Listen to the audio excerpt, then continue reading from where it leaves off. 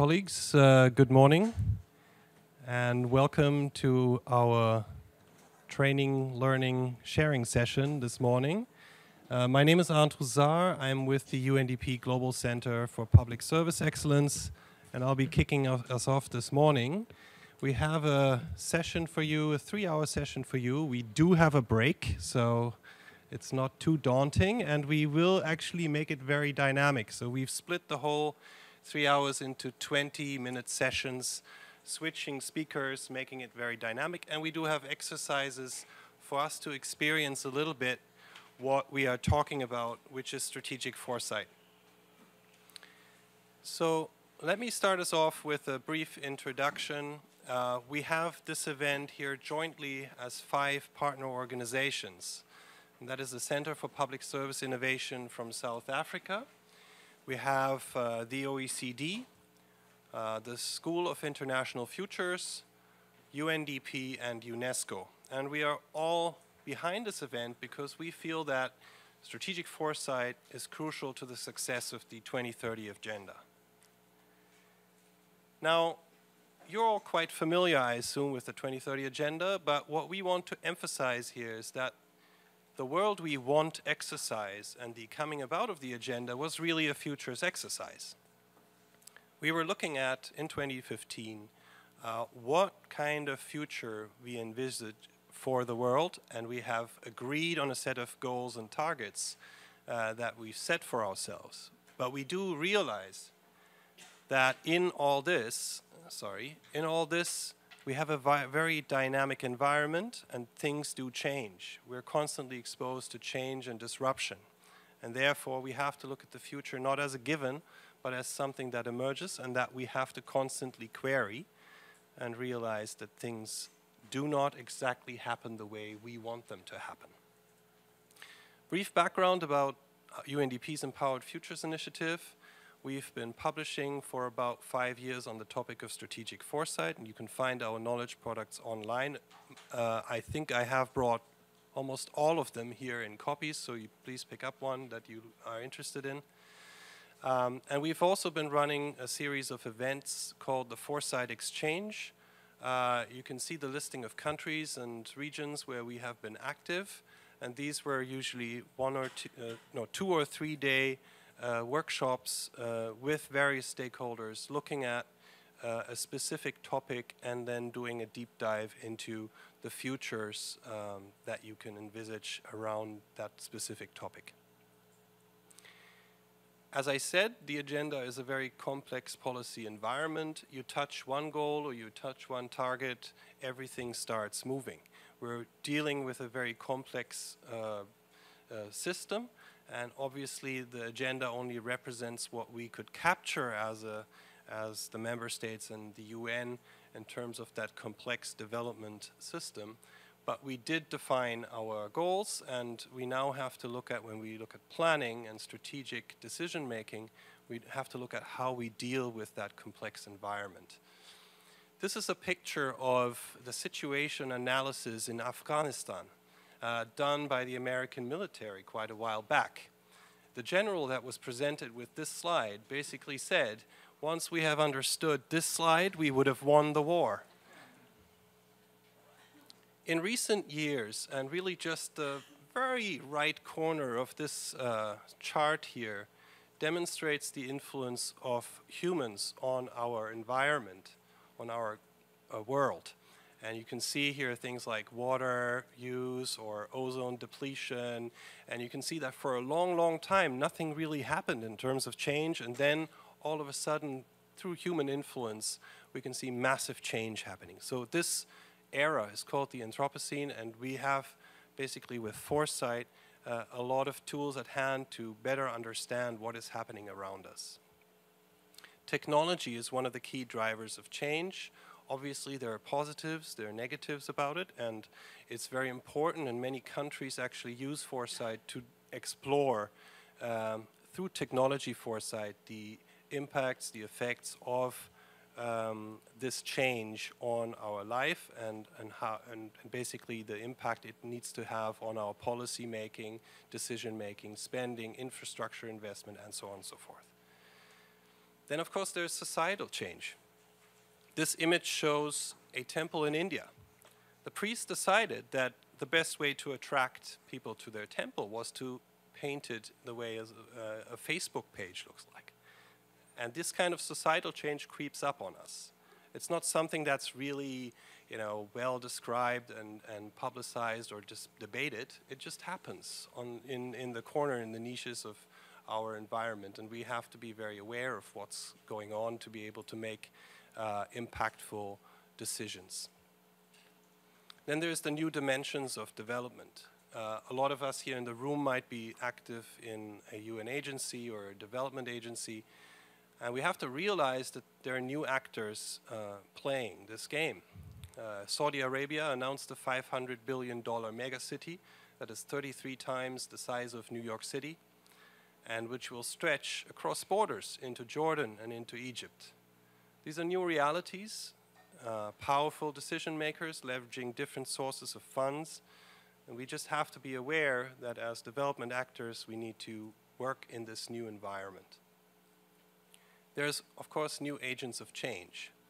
The gray-suited bureaucrat that I am is no longer the one making the decisions. It's the people sitting in a cafe with their laptop or their mobile uh, deciding on the uh, investments that they're making, the new companies that they're starting, disrupting uh, the economy and uh, triggering off new developments.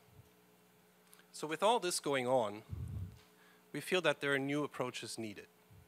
We need new tools to gather intelligence about the future, identify emerging strategic opportunities, measure cross-sectoral impact of policies, enhance our ability to spot risks and opportunities, and uh, increase our ability to anticipate and adapt, and engage the unusual suspects, the new change agents.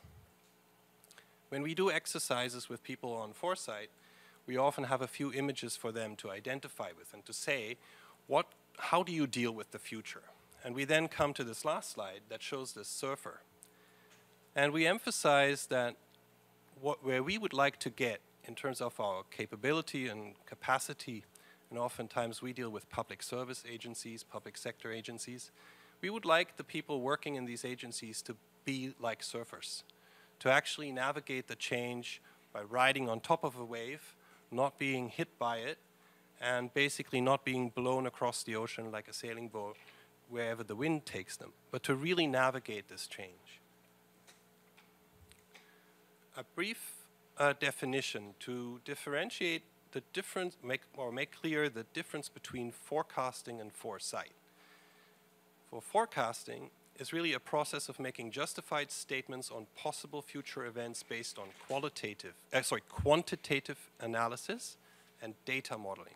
It's based on data, and we all know that public data, data received from governments is usually a year old or maybe even older, and that our data sources really often lack quality. Um, concurrent data is not very often used so far, so it's quite a tricky business to do forecasts.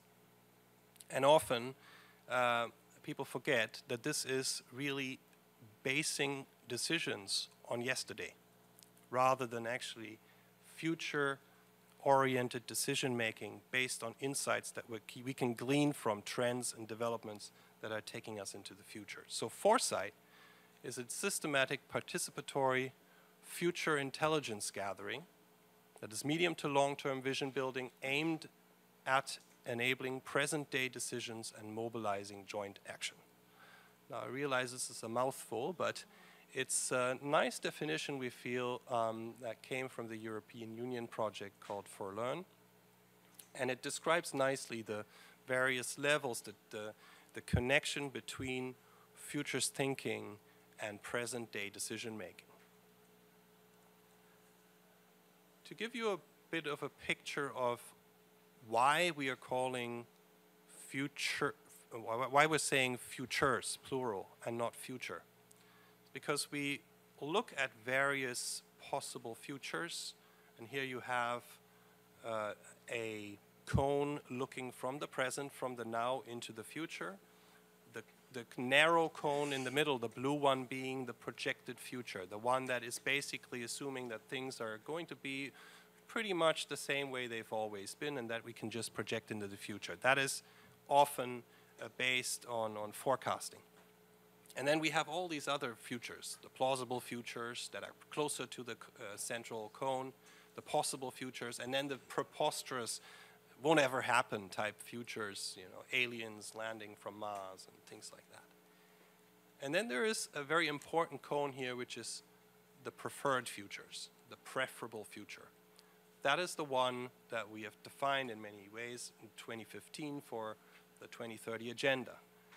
What do we want to happen? What's the world we want? So when we deal with foresight, we basically have various approaches. I'll come to that, but a basic uh, exercise that people practice is to look at signals out there and to identify the key trends and emerging issues that lie underneath them. And when you drive deeper into your research, you can then find the drivers, the systemic structure underneath that are causing these things to happen. There's a wide range of methods, so foresight isn't one method. It's a collection of various different methodologies and tools, and many of them you recognize here probably on the slide, and you would have never thought that this is foresight, right? Uh, you know, it lists things like literature review or science fiction, but they belong to this family because your evidence gathering mode or your uh, way of interaction either with experts, that would be the left-hand side, or with citizens or um, you know, people, people on the street, um, that defines the other range between you know, the really expert-driven insights and the uh, participatory futures. At the center, we have worked on this now for about five years, as I said, and we have evolved an approach that we feel is something that is lean enough and easy enough, also affordable enough for our context of work, which is developing country contexts and public sector in those contexts. We have many governments practicing foresight, and we'll hear some examples uh, after uh, my introduction. Um, but some of them are investing heavily into this and spending a lot of money on research and, and foresight products. And others are you know, using a more agile and more cheap and cheerful approach. So what we felt was that we needed to figure out through testing and working with various partners what would fit best. And this you can read more about in our Foresight manual. I'm just putting it up here so you get an idea that there is something to look at if you want to find something fairly simple to dive into.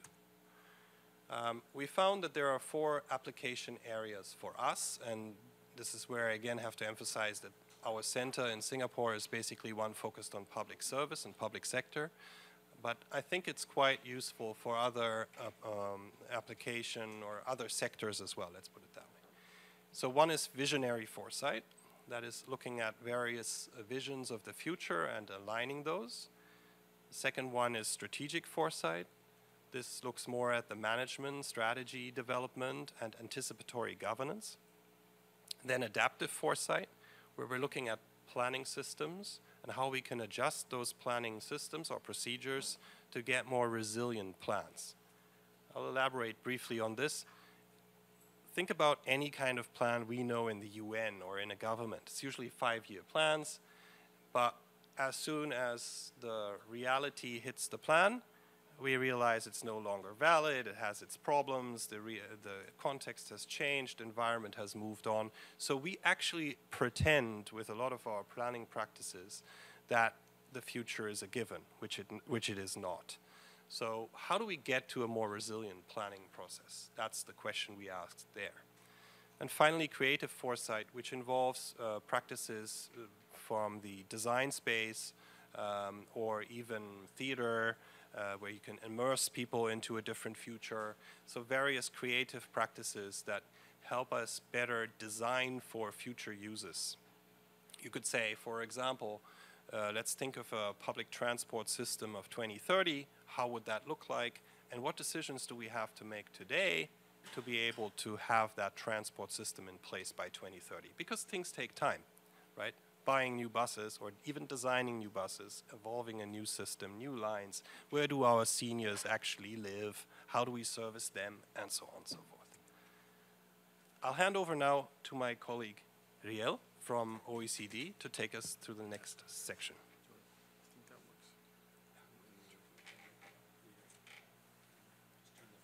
And we will have a bit of Q&A after the introductory talks, which will be after Pierre, I think. Good morning. Thank you very much. It's really a, a pleasure to be here. Um, being in this room, though, makes me feel kind of like we're, we're slightly obsolete. Uh, I first ran around in this part of the play, in this, in this actual location, not with these desks, uh, in uh, 1960. So it's been a long time for me to cruise around the UN system. I think for me, one of the critical aspects of this whole presentation and the issue of thinking about the future is that there's a fundamental change taking place. Uh, and it has to do with agency and it has to do with the way in which change takes occurs. The changes that, that are in some senses symbolized and institutionalized by this building and by the idea of nations. Um, I think in many ways is, is very clearly inadequate to our times. It was a brilliant and amazing achievement, but it's kind of running out of road. And I was in Kigali in Rwanda not long ago, uh, just about three, four weeks ago, and we, we did a session on the future. Oh, I'll get the feedback there. On the future of, uh, of Rwanda. And obviously, Wakanda, I don't know how many people are familiar with Wakanda. It's the Black Panther Marvel uh, franchise expressing their idea of a future. And it's a very uh, confident future. It's a very persuasive future because it masters technology. And it depicts humans essentially as gods. This is a very common theme these days with the superhero movies and all that kind of thing, is that, you know, we're going to get back in control. We're going to run things. We're going to be able to determine the future. I mean, in, in simple terms, that, that, that to me sounds not only delusional in some sort of pathological way, but it's, it's fundamentally, from a scientific perspective, uh, just wrong. I mean, one of the big things that came out of the 20th century is the notion that we live in a complex emergent universe, right? So this is a scientific consensus. But to what extent has our social science, has our governance policy caught up with the understanding that we have that we live in this novel, creative universe? I think it hasn't caught up very much. And it's particularly difficult for administrative systems, be they private sector or public sector, to actually be compatible, I said compatible, with what we understand scientifically. Because administrative systems are fundamentally command and control systems. And I think everybody in this room knows that if they make a mistake, if something they do fails, they will not be rewarded for it in administrative systems, we're meant to be prescient. We're meant to understand what's going to happen and then to implement policies and do things that actually colonize the future. We impose our will upon the future. Now, we've already talked about how the SDGs and the future we want uh, allowed the coalescence of very powerful coalition around a set of objectives. And I think that that's a tribute to the power of the future. The future is certainly very powerful. But it's powerful at a very deep level because the, future informs our own personal idea of hope, our own fears, and those of our community, and those of our organizations. So we all use the future, and we use it very uh, basically. A child, a, a baby, before they can talk or walk uses the future to cry for food, to follow a ball. We're very anticipatory in a fundamental way. But we've actually, in some senses, not thought about it very much. And we've, in, in some ways, been unable to incorporate anticipation into our thinking. We're what I call futures illiterate. So, for me, there's a kind of transition taking place. It's called futures literacy. Uh, and at UNESCO, we've been working for the last five years on, on, on gathering evidence. And I'm talking through laboratories and through scientific process and through research uh, in UNESCO's role as a global laboratory of ideas. Uh, and let me just read it off here. The future does not exist in the present, but anticipation does. The form the future takes in the present is anticipation. And it's, you know, in some ways it seems like self-evident. You say to yourself, right, yeah. Anybody here visited the future? No. Anybody here have data, evidence from the future? No. So how does the future exist? Well, in the conscious human thinking, it exists as imagination. The future is only a fiction. And we can develop that fiction for different reasons and with different methods and different tools. Uh, and one of the things is how to become better at understanding the way we use our imagination. So anticipatory assumptions are the frames, narratives, and variables that shape what we imagine. If I ask you to imagine something that's not here, you need to have a framework. You need to have a set of assumptions. If you're thinking about the future of the economy, you're going to think about jobs or enterprises or firms, but you're making that up. You're assuming that there will be jobs and firms and enterprises and all that will exist. And you're using those assumptions to describe what you're imagining. This is a very powerful thing about the future. And I think it's really one of the central reasons why we're here and, and why this session's taking place, is because the future has this very powerful catalytic invitation to be more explicit about what you're thinking about, to be more explicit about how you're constructing your imagination, and crucially, how to understand your fears and hopes.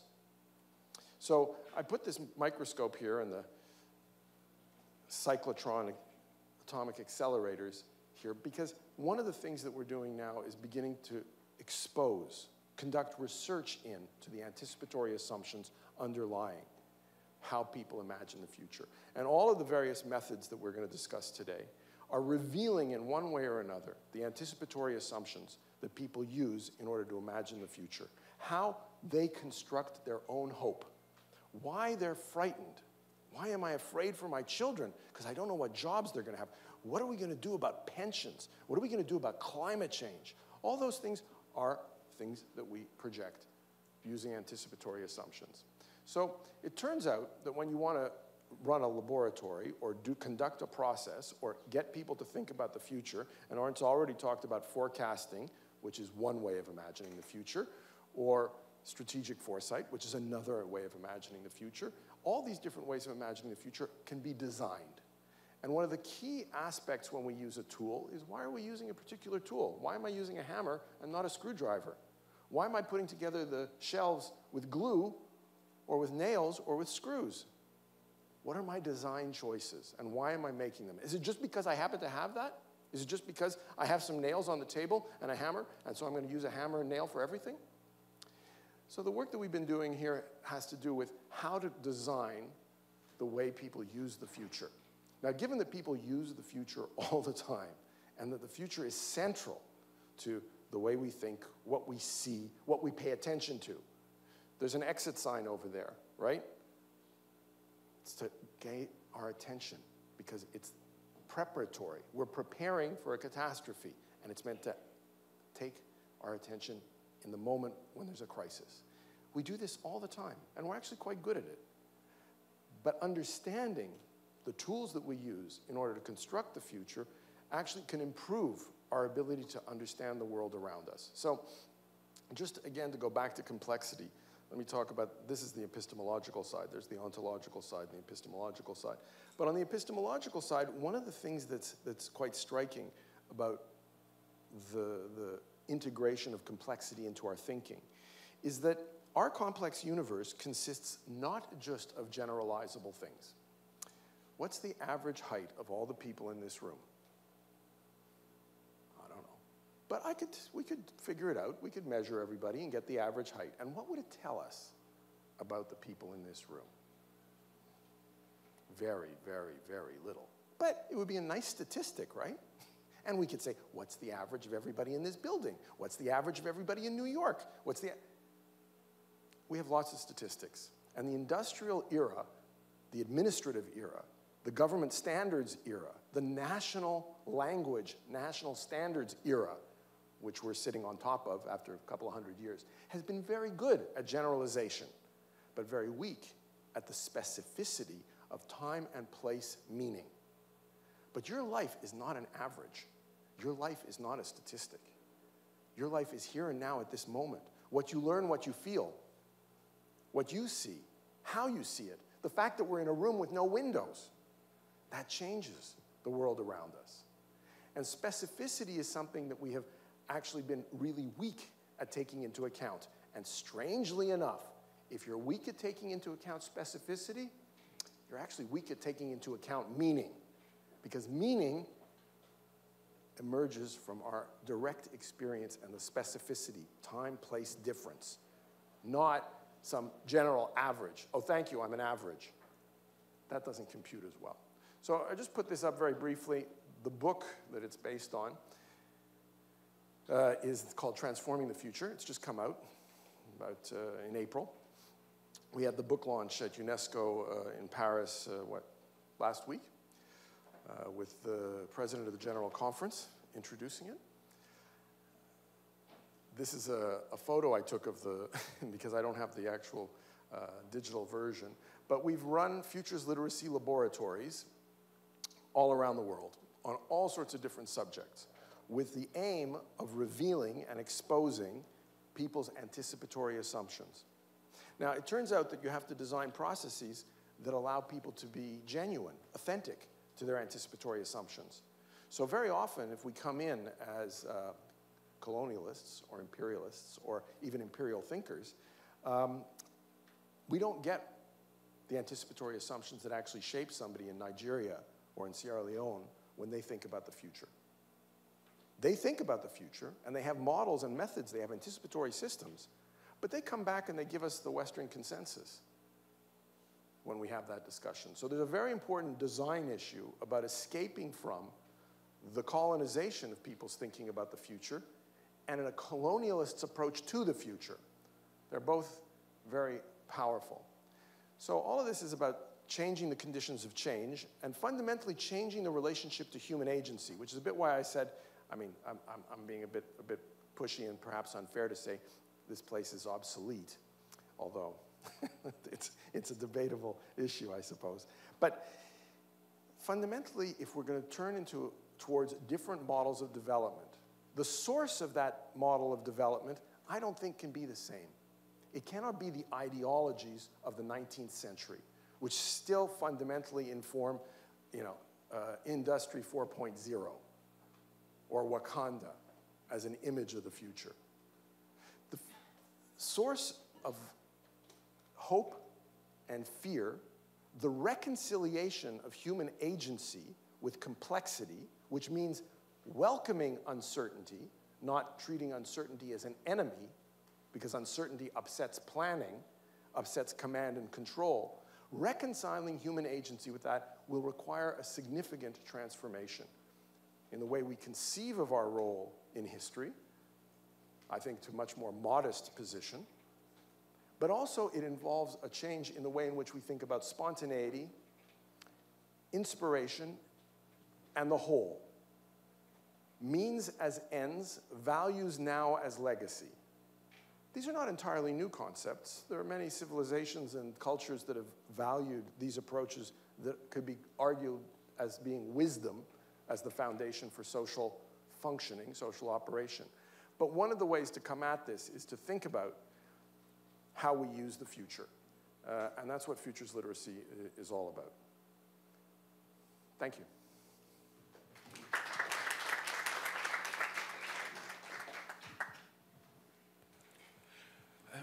Good morning, everyone. Um, my name is Pierre Schoonraad, and I'm from the Center for Public Service Innovation in South Africa. You'll see we are moving very quickly through these slides, um, and we basically just give you a little bit of each aspect um, to, to make you a little bit more nosy and inquisitive about um, the future, but the subject of the future as well. Um, I'm an African. I may be the paler version of an Africa, but I'm an African nonetheless. And we have seen over the years so many fads and so many things brought in by development partners and by the UN system and by all the various uh, multinationals. Um, so the question is, is foresight yet another one? Um, and what on earth are we going to do with it? So what I want to do in the next 20 minutes is just bring it down to the reality of developing countries. Obviously, I'm speaking from a Southern African perspective, um, but we have seen with the UNDP a number of experiences, and I'll just um, want to touch um, on a few of these issues. I think the, one of the assumptions that we have seen uh, lately is that people are wondering whether foresight is actually um, necessary for Africa when we have so many, and other developing countries, if we have so many development challenges already to deal with, shouldn't we focus our energy on that? And I think then we underestimate the ability of developing countries to do foresight.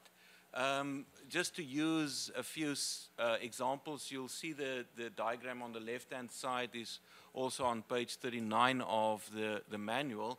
Um, that's a scenario that was developed about 30 years ago, um, just after um, the negotiated settlement in South Africa.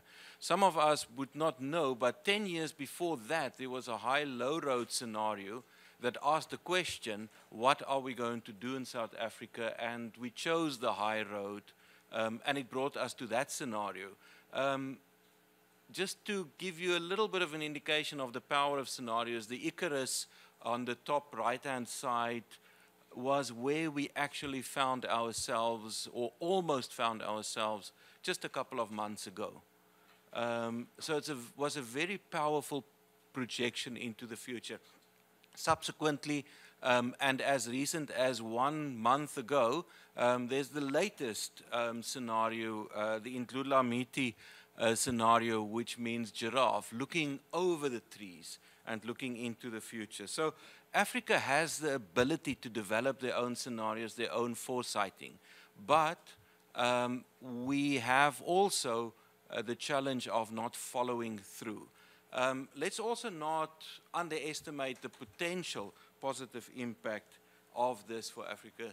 Um, some of the things that we've seen in scenario uh, planning and specifically in foresighting um, are on the negative side what the former governor of the Central Bank of Kenya said is then when we are faced with external shocks, our typical reaction is of policymakers is to reduce the long-term development budget in favor for um, recur recurrent expenditure. And I think that's what we want to move away for. So long-term planning is slowly gaining traction we can see that the SDGs has already provided the opportunity to fast track these long-term planning, but the need for innovation has been strongly expressed um, parallel to doing foresight. Um, one of the concerns is it's mostly driven, driven by those in this room um, and in this building and in the partner organizations, um, and that we need to flag uh, because it's not always driven by the decision makers, by the communities from the grassroots up. Um, and what we've also seen is that there is work to be done to create that mind shift from a reactive governance approach to an um, anticipatory governance approach. And then the curse of the log frame, sorry, that's maybe putting it too strongly. Um, but over the years, we have embedded certain processes. And in every exercise I've been, everyone wants to start asking, what's the process? What's the next step? To have this typical linear approach to, approach to foresighting as well. Instead of starting conversations, starting narratives, which is the developing country's strength is the narrative, instead of starting that. We do require strong leadership uh, moving forward. Just to again to focus on a few examples of what has happened in countries is it always starts and mostly starts with a question about the impact of development planning. which we can see is not rendering the necessary result. But then we default to the standard approach because what's the alternative?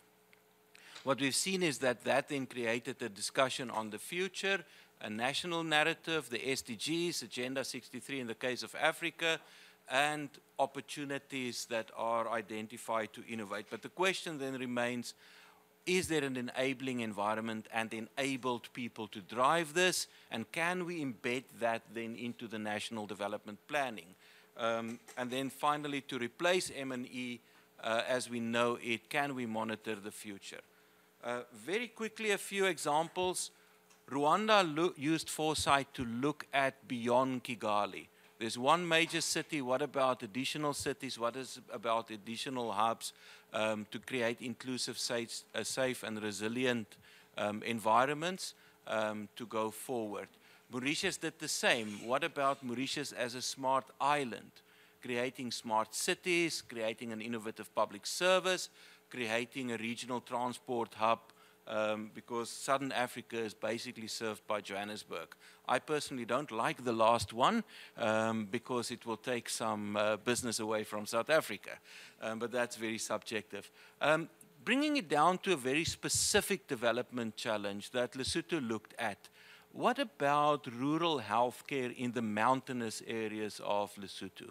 Can we use tourism, which is one of the SDGs, um, and tourism for good, um, and can we use technology to bring healthcare to remote communities? So they have a um, very good tourism attraction of pony tracking up in the mountains. Um, why can't those ponies take medicine uh, and valuable supplies up as well? I won't talk too much about water, but that is one of the other issues. How do you use water to develop and not just export to South Africa. Um, one of the other things we did was to look at the subnational um, application of foresight. And one of the local governments and provinces, the Eastern Cape, for those that uh, know South Africa, looked at this and they said, we are not achieving our targets. We are not achieving developmental impact. What can we do? Um, we also seen that the national discourse is not necessarily the provincial or the regional discourse. Um, and everything is M&E driven for compliance sake.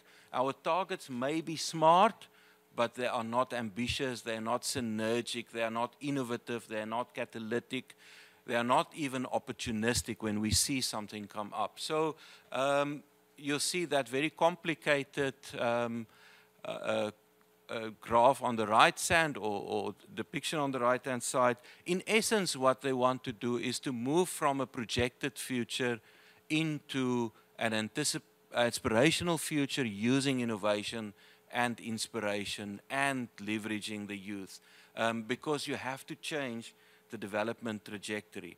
The second challenge that they have um, been faced with is that the if targets are met, they the impact is still low. So you have a department or you have an institution that achieves a 100% score in terms of their targets, but you don't see the development impact.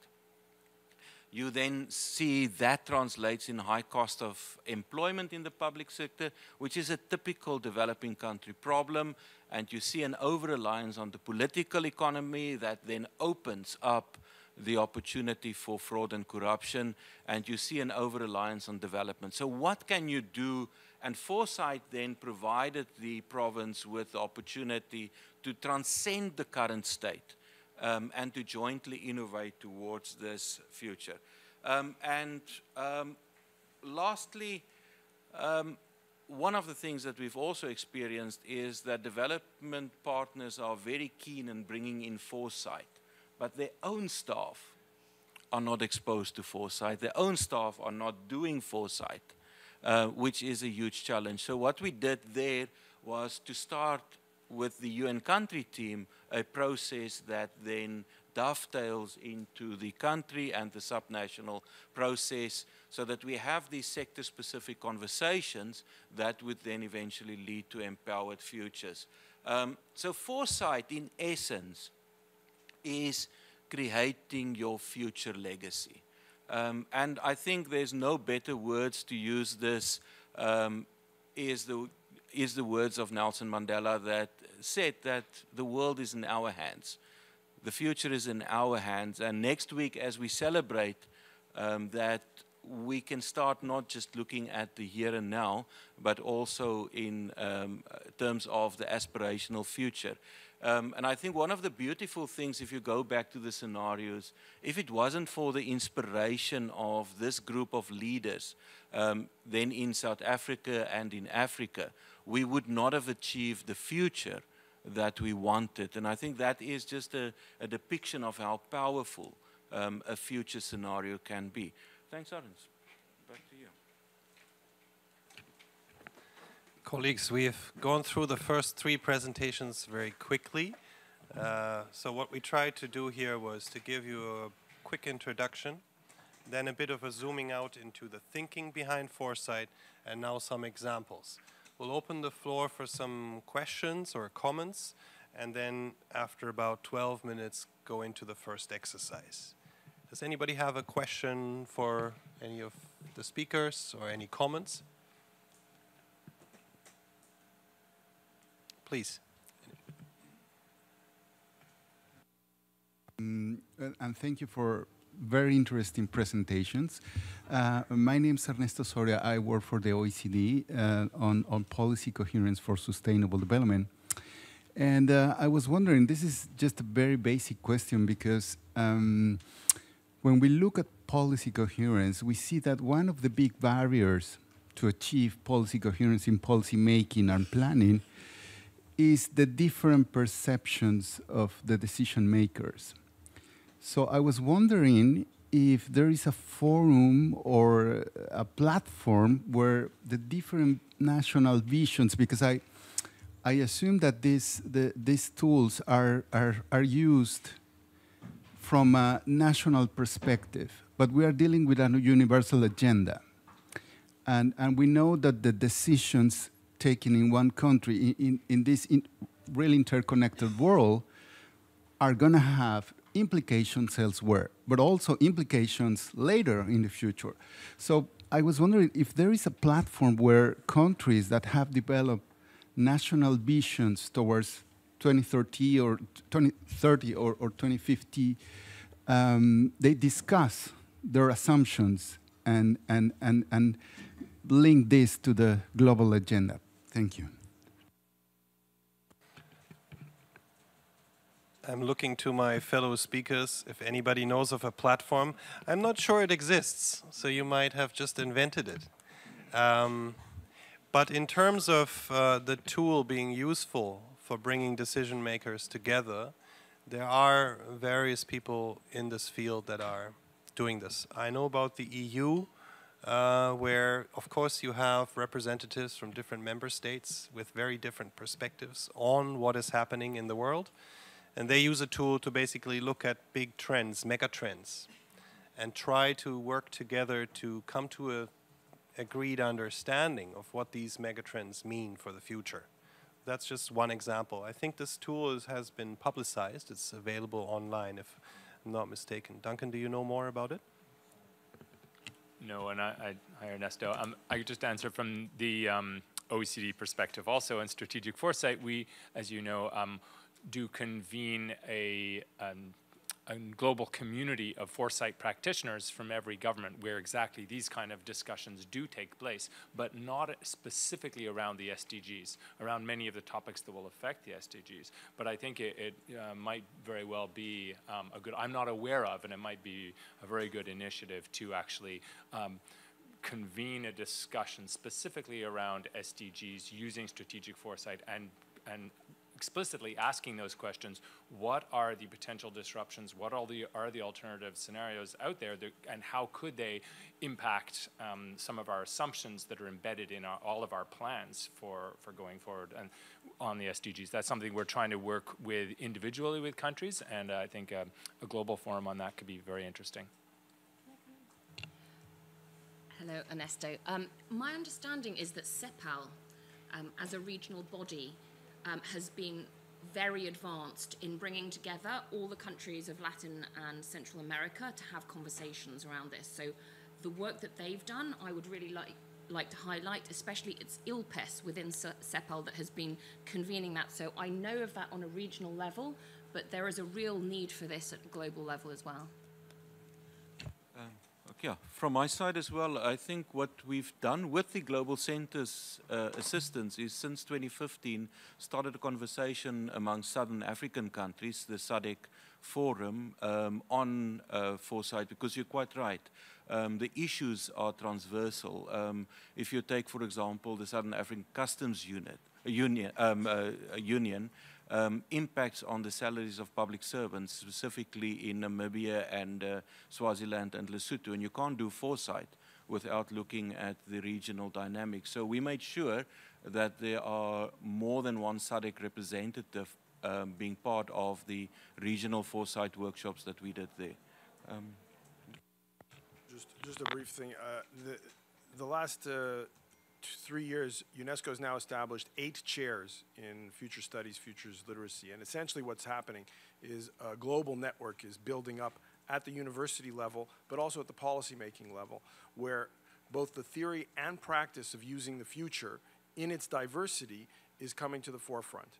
Uh, and so there's a sharing of, of the how-tos, how do you run a national foresight process, but also the question of how does the future get integrated into the way people think, uh, and how can people be trained in order to use the future more explicitly uh, and with more awareness of the design principles underlying the use of the future. So I think we're moving into a phase, this might be cyclical, but I think we're moving into a phase where there are many different organizations, different uh, professional groups that are beginning to try and think more systematically, consistently, and let's say sustainably about the future. Thank you. Any other questions? Yes, sir.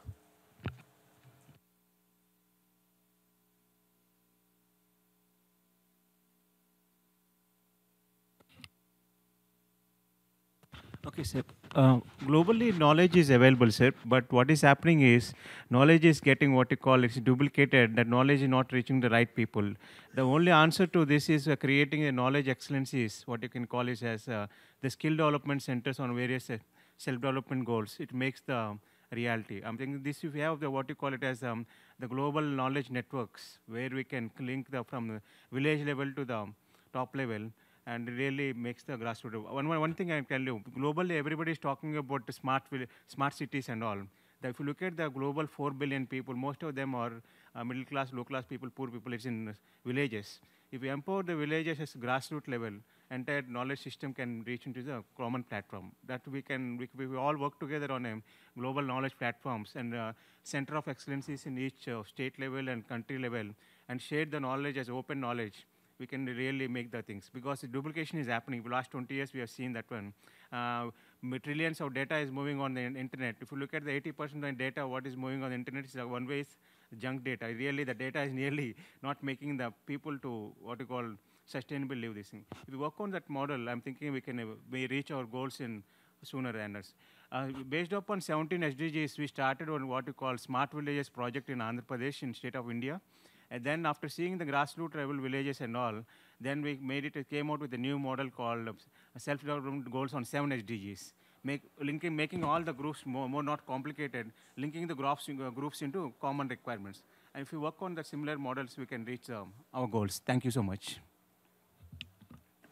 Thank you very much. A real call for connecting and for bringing knowledge together. I think this links up very nicely with what Riel has presented on the uh, futures literacy effort around universities. Any other comment or question? Yes, please.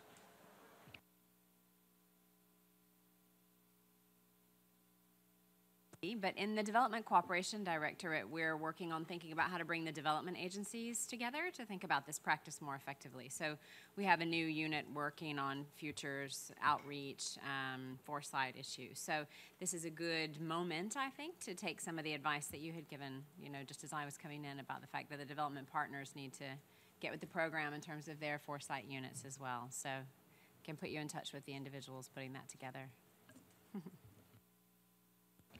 Thanks, Lisa. Any other questions or comments? All right. Well, it's good we start a bit earlier with our exercise. It gives us a bit more time. I'll hand over to Duncan. Thank you.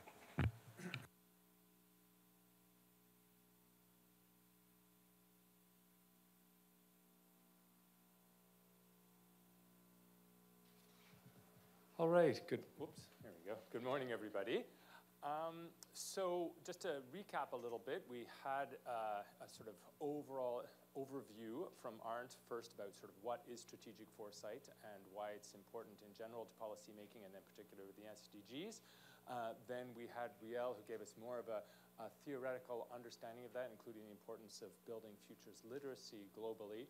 And then from Pierre, we had a case study of how this can, can and has been, uh, needs to be actually done within national governments, um, particularly around SDGs. And now I'm going to give you a bit of a sense uh, about the uh, a case study about building it in, using it at uh, an international organization level, the organization I'm with, the OECD.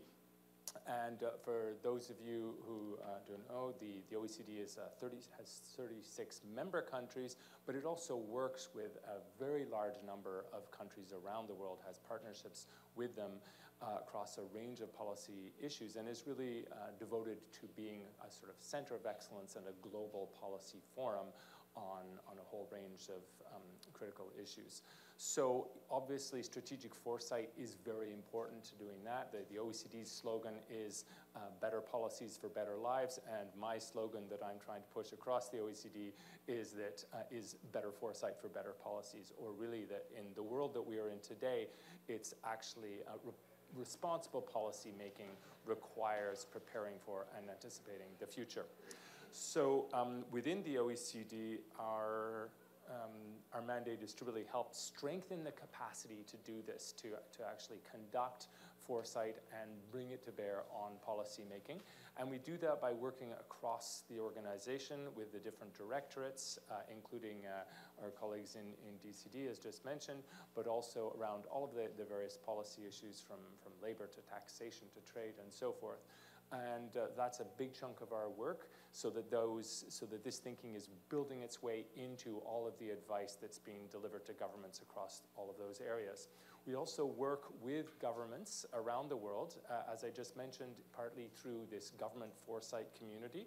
And I'll put out the advertisement now that if any of you are are either working in foresight yourselves within your governments or know of colleagues who are, that is an open global forum. We invite them to Paris twice a year to really um, convene among foresight experts working in government and to share best practices as well as ideas on, on emerging trends. And then uh, we also work directly with governments. Um, we had a recent, recent projects with both Slovenia and then Slovakia, taking, uh, bringing strategic foresight into their SDG planning um, process to make sure that their, their, their plans for 2030 are actually don't look like a strategy for 2018, but that are actually taking into account the range of possible futures that we could see by then. And then we also uh, try to bring strategic foresight practice and insights into high-level policy dialogue uh, when that is being convened around the OECD or also around the G7 and G20. So, um, but before I, oh, well, so what I'm going to do today is I'm to work backwards. I will tell you a little bit more about our um, a particular initiative that we've run over the last year within the OECD, which is looking at the impact of digital transformation, in particular a range of scenarios that we've developed to help uh, use those to test and future-proof policy making. But before I do that, I'm going to move us into the participatory uh, part of our morning here and get you all to take part in a brief exercise. Now, I should point out that this is uh, meant to be a learning session, so not only do we hope you to learn, hope you will learn from the exercise itself, but also this is a very simple exercise that you could take back and use with your teams tomorrow. As you'll see, it's very simple, it's very quick, but it, can spur the thinking right away uh, among your colleagues and get them into space to be thinking more creatively about the future. So very simple, what we're going to ask you to do is I'm going to ask you to turn to your neighbor. So we're going to do this in pairs, and you can be in groups of three if you, if you get into an odd number. Um, and I want to ask you to think and just discuss with each other what you see as an emerging trend or potential disruption that could impact cities and communities in the coming 10 to 15 years. Now, those of you uh, who know about foresight might know we also have a, we have a term for this we often call a, a, weak signal of change.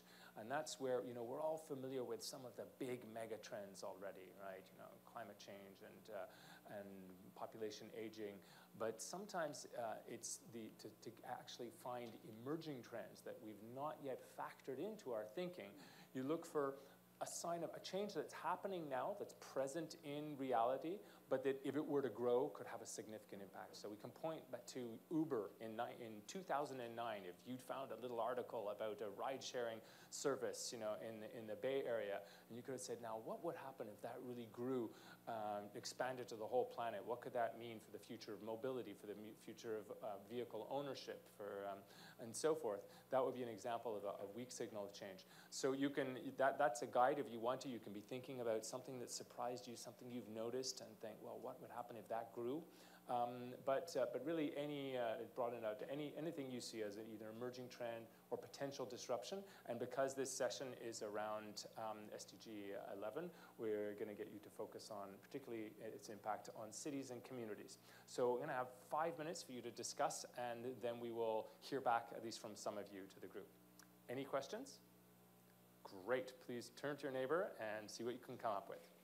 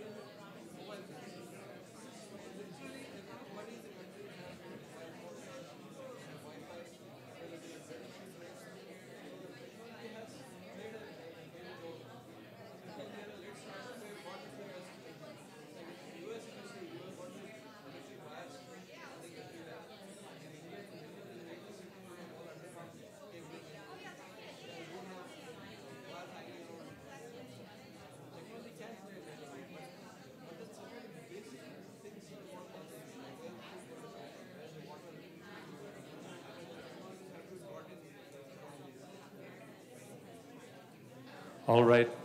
All right, everybody. I always hate to stop a good conversation. This looks fascinating, but I want to be able to share some of your insights with everyone else. So um, we're going to do a rapid fire gathering up of some of the ideas. So I'll, I'll ask some of you to volunteer, but to keep your, um, your points to under, under a minute uh, at least, and just to describe us what was, the, uh, what was the change or the disruption that you saw and what you think some of the, the impacts could be. So who would like to go first? I'm going to come to, I'm going to start pointing if nobody volunteers. So please, yes, in the back. Oops. And sorry, everyone, if I just ask you to be quiet, and those people, if you wouldn't mind just getting near to a microphone uh, for the, um, just the closest mic there, maybe to the desk. Would that work? Thank you. as one of the main potential uh, disruptions, sort of all over the world. It was in it was a spectrum of bad as opposed to a spectrum of good. It had different levels of threat, and then we also put cybersecurity as a threat, particularly within cities, because if you close down, say, the internet, then that would close down banking. So all sorts of things with that. Okay. Border security and also cybersecurity. Okay, fascinating, super, thank you. Okay, who's next? You guys are talking. Why don't you go? Yep. Oh, that's you. You, the talking ones. Hello. You, you, you. Yep. Yep, you. Okay. Which one? Go. Uh, we are we are three people, uh, both of them living here in New York, and uh, I'm from India. So we discussed about uh, uh, the problems of the developing countries and also how we could uh, gain from the technological advances which have been made in the developed countries. Now, uh, my uh, fear was uh, how would we feed the growing population? Now, India already houses one-sixth of the population of the world and growing by the minute. So where is the food going to come from? Because development, development, it's eating into agricultural land. And today agriculture has become a very uh, non-remunerative profession, so people are giving up their land and coming to cities. There's a lot of migration happening. So where are we going to feed the, the growing population? That's one could be a major disruptive factor. And second is the, the pressure on the cities is increasing so much. Already there is no drinking water. There's a lot of flooding during the, uh, India is a, a monsoon-based economy. A lot of flooding that happens and disasters that take place in cities. So uh, it's very scary to think of what will happen in the next 10 to 15 years. But then there's a ray of hope also in getting technology from, uh, which has been already developed in other countries. For example, uh, we discussed about the uh, telephone penetration in, in India. 20 years back, very few people even had a, a phone at home, a landline. But today, for a 1.3 billion population, we have more than 2 billion mobile phones. Literally every Indian has more than one mobile phone and with Wi-Fi connectivity with pretty good speeds and at very low cost. So technology has definitely played a major role in improving the communication in the uh, uh country. And the third point was with so many people migrating to cities, and so many people migrating out of the country, the, the, the so-called smart ones who might go abroad to study and, and settle down there and work there. What will be the uh, mental state? She's a psychiatrist, and we discussed about what could be the uh, mental state of the people living in the slums and looking at the huge disparities. So this can be a major factor. Depression is going to be a, a major health issue in the developing economies, and we have to see how we are going to tackle uh, this also. So in the five minutes, I think this is what we that could uh, excellent. discuss. It, and we talked about uh, uh, electric uh, cars coming in as, as, a major new technology which could prevent, uh, which would reduce a lot of noise and pollution and and all okay, that. I'm going to so stop you, or there won't be anything left the, for anyone yeah. else. But this is, this is great. Sorry, did did that capture your point? Okay, excellent. Who's next? Over here.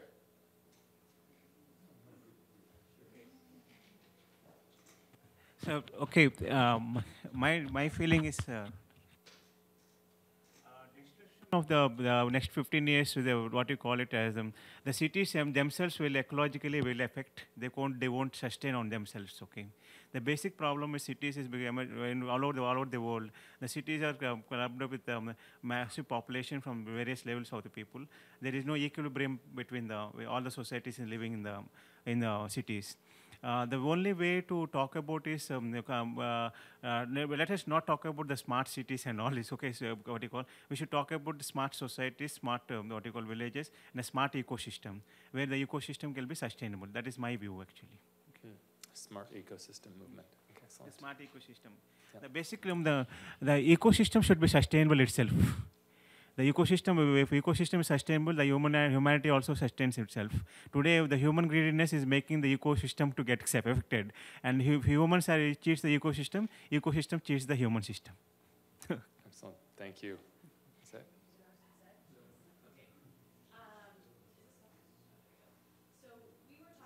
bit about um, this kind of soft signal, or maybe it's not that soft actually, of inequality. Um, but particularly, we were talking about how there's a lot of um, really educated, talented people in kind of the 25 even to 40 that are, I think, less and less secure in positions in their kind of living situation. We were talking about yesterday on the subway, I heard someone say, I don't know if I'll ever get an apartment because you have to provide like an 80 times guarantee the rent. Um, these types of things where it's the systems that are in place seem to really favor those with a lot of income. And so we were talking about that. And do you want to add anything, Francois? So we were talking about how that seems like it could be a pretty major disruption because the systems are not matching what people's realities are. Yeah, a big critical uncertainty about uh, the direction of inequality um, globally. Yeah. Okay. Yes, please. Um, we we um, couldn't quite decide if we want to have an um, optimistic or a pessimistic scenario.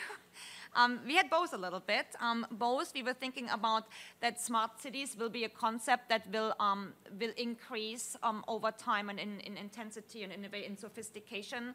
But we also thought about that the circular economy um, might be something more on the positive spectrum of scenarios. Um, could be something that maybe could in general be strengthened, or there might be an opportunity for that in the future. at the same time, more on this on the social side, the social dynamics, we were maybe a little bit more pessimistic in terms of that we saw that in a way the current trend to more fragmentation in smaller and smaller groupings and identities um, will also will also continue. And, and you had something as well. Well, maybe just to add the um, automatization of labor and what it does Yeah. to society, and yeah, that's another one. Great. Okay, I'm going to do one or two more. We not heard. Row over there. You comment a thing? No? Yeah. I'm, I'm volunteering now. step out of the room began with the question of what to do about youth unemployment in cities and rising youth unemployment in these contexts.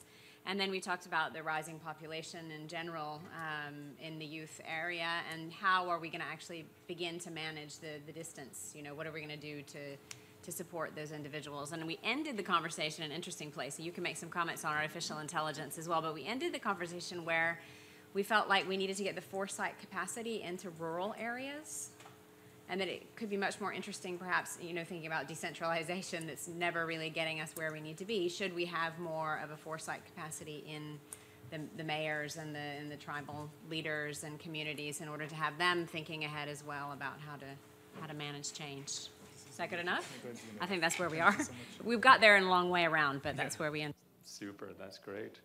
Okay. Yes, please.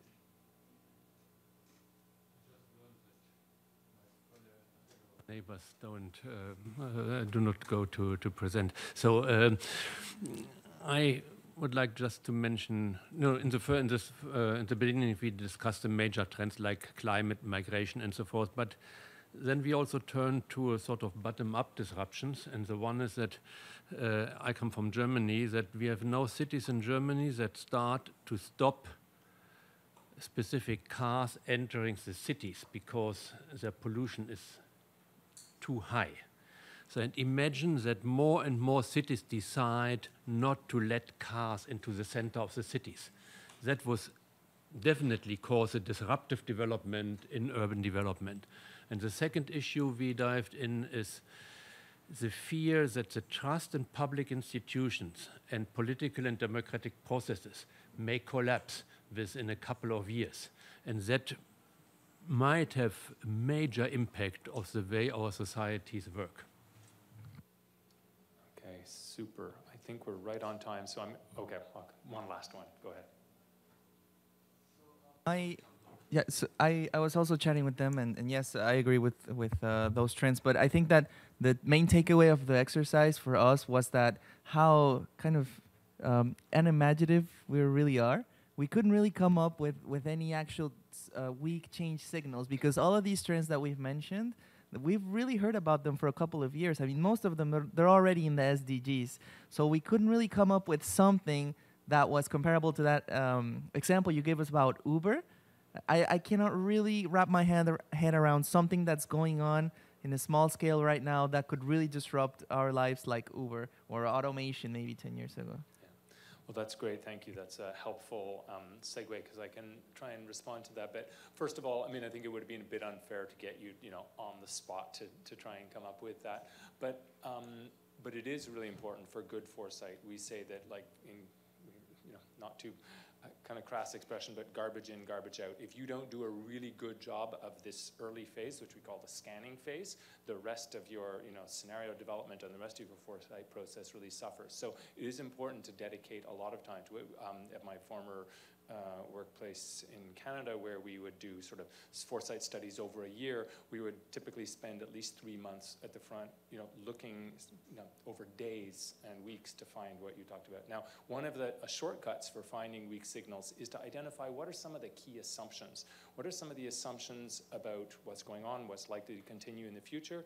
Thinking of our policy coherence discussion the other day, what are some of the assumptions about the, the level of trade-offs between different SDG goals? Are these, um, are they likely to continue to have the same relationship or could that be changed by some of the, the technological changes? So the, or other, so the key thing, one of, a shortcut is to identify what's an assumption that you have you all agree with, that you think is highly likely, and then to flip that assumption, assumption reversal, and say, okay, what's the opposite of that assumption, and can we find any signs that would support the opposite of the assumption? So that's just one of the ways that can really kind of help you to zoom in and find um, weak signals that haven't yet been considered. That said, even when you do take some of the trends that we've been hearing about already, they haven't necessarily all been thought through in terms of just where they could lead to, where they could grow, and what some of their implications are. And often people will, will look to sort of the first or second order consequences of some of these changes, but not go further and think through what the, the, the, multiple further order consequences could be and what some of the interactions are. And that's also where strategic foresight we do cross-impacting. I mean, even something like, you know, two big well-known megatrends like population aging and climate change, we haven't necessarily done all the thinking we need to to think about the various scenarios for each of those and how they might interact in surprising ways in, in 10, 15, 20 years. So that was a little bit, thanks for that, that prompt. Okay, so I'm gonna zoom in now to the, uh, the next part of my presentation, which is then going to um, set up for the next interactive exercise with Kat after the break. So um, Yes, so as I mentioned, we, uh, one of the exercises that we've done at the OECD over the last year is to uh, work on this piece that's still evergreen, still in development, called Scenarios for Digital Transformation. And this is part of a broader initiative now that the OECD is working on called Going Digital, which is really looking at the digital transformation and its impact across all ranges of, of policy. I think there's over a, a hundred different initiatives at the OECD looking at that now uh, across a range of dimensions. But what our particular niche was to come in and say, well, what, let, what are the discussions that aren't happening potentially because they're they're sort of not they're not safe they're they're too um, too provocative they're outside of the box or they're they're cutting across different silos of different issues? So we really said well let's come in and try and shake up the thinking a little bit and do that by helping people imagine uh, what if the the digital transformation happened faster and deeper and further than expected? What could some of the um, what could some of the impacts of that be? So we identified the critical uncertainties, some of the alternative plausible scenarios, and then of course the whole point of this is to bring it back to the implications for policies. So I'm going to do a really quick run through of just our, our logic um, around this to help stimulate your thinking. And so, of course, where do we start is, well, what is the digital transformation? And there, you've probably all seen lots of versions of this, which is just pointing to the whole range of technologies that are moving very, very quickly right now. Uh, at the center uh, is artificial intelligence, which uh, even the experts in artificial intelligence continue to be surprised at just the, the pace of um, unexpected change uh, in that field. But also um, all these, these related pieces um, from cloud computing, the Internet of Things devices, synthetic biology. Whoops, I'm missing one up at the top that must have not moved over. Um, mixed reality, sort of virtual reality and augmented reality, uh, the blockchain, of course, and uh, robotics. Um, so what's, what's really fascinating is how all of these technologies are coming together as a to create an ecosystem or a, really, a sort of an infrastructure on which a new global economy is being built on which new uh, forms of society are being built too. And so we, we jumped off that sort of technological basis and then we asked ourselves, okay, now we push some of those trends into the future and, um, and asked what if um, we had sort of sooner than expected a rapid development of a number of these pieces. What could that lead to? So these are not predictions, but there were some sort of common assumptions just to push people's thinking out. And so we started with saying, well, what if we had universal connectivity uh, everybody in the whole world by 2030, and probably sooner, but you know, has a device, at least the, like what we all have in our hands today, um, and at least some way to charge it. They may not still not have uh, running water to their homes, but they likely the whole world will have that. That fundamentally gives everyone a window into um, work and learning opportunities around the world. What if, um, as a result of that in part, um, we see digital business models disrupting most industries, like we've seen in obviously um, in, in media and in transportation and mobility and in a number of areas already. What happens if this, if this sort of expands out?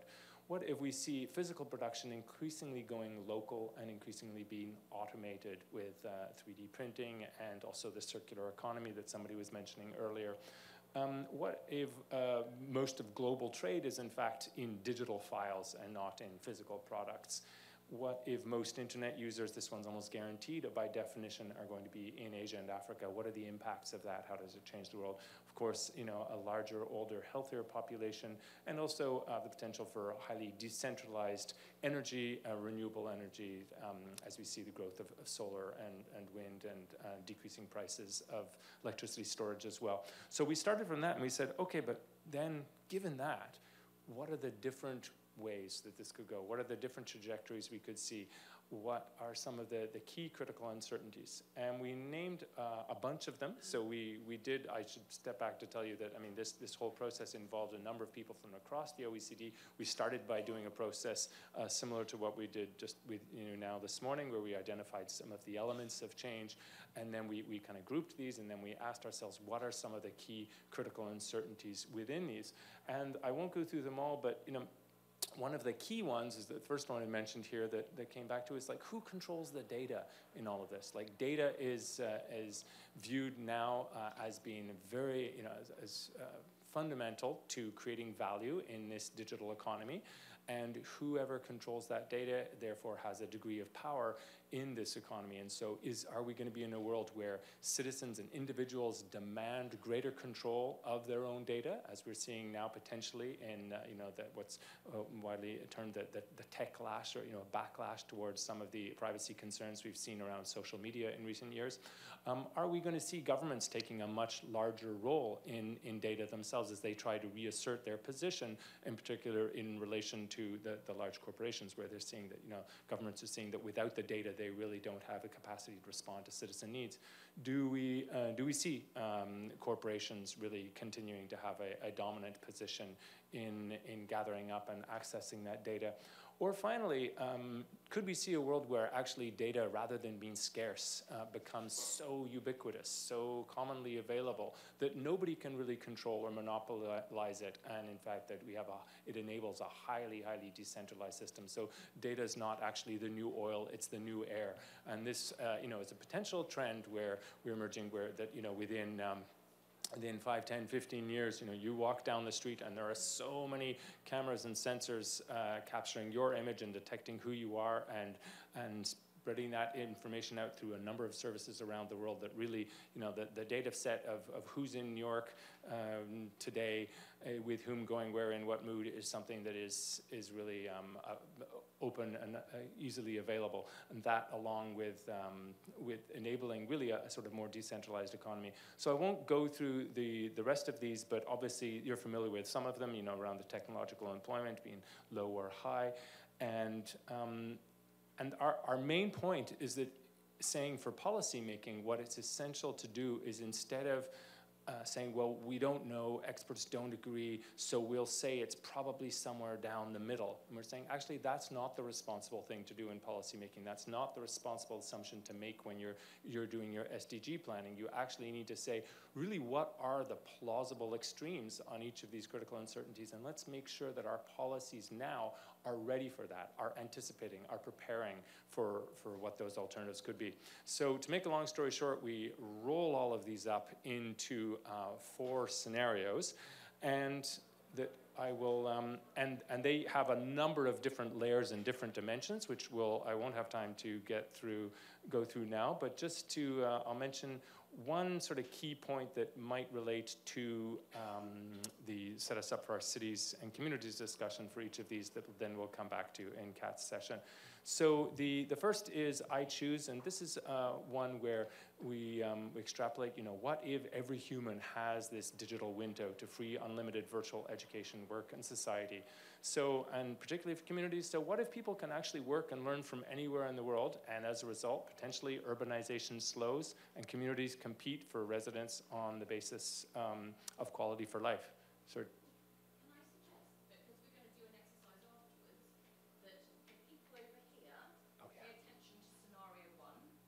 people in the middle pay real attention to what Duncan says for scenario two. The people on this side pay attention to scenario three, and the people on the outside pay real attention to scenario four. Thank, Thank you. you. for reminding me, Kat. Perfect. So, that, so, so do you have a question?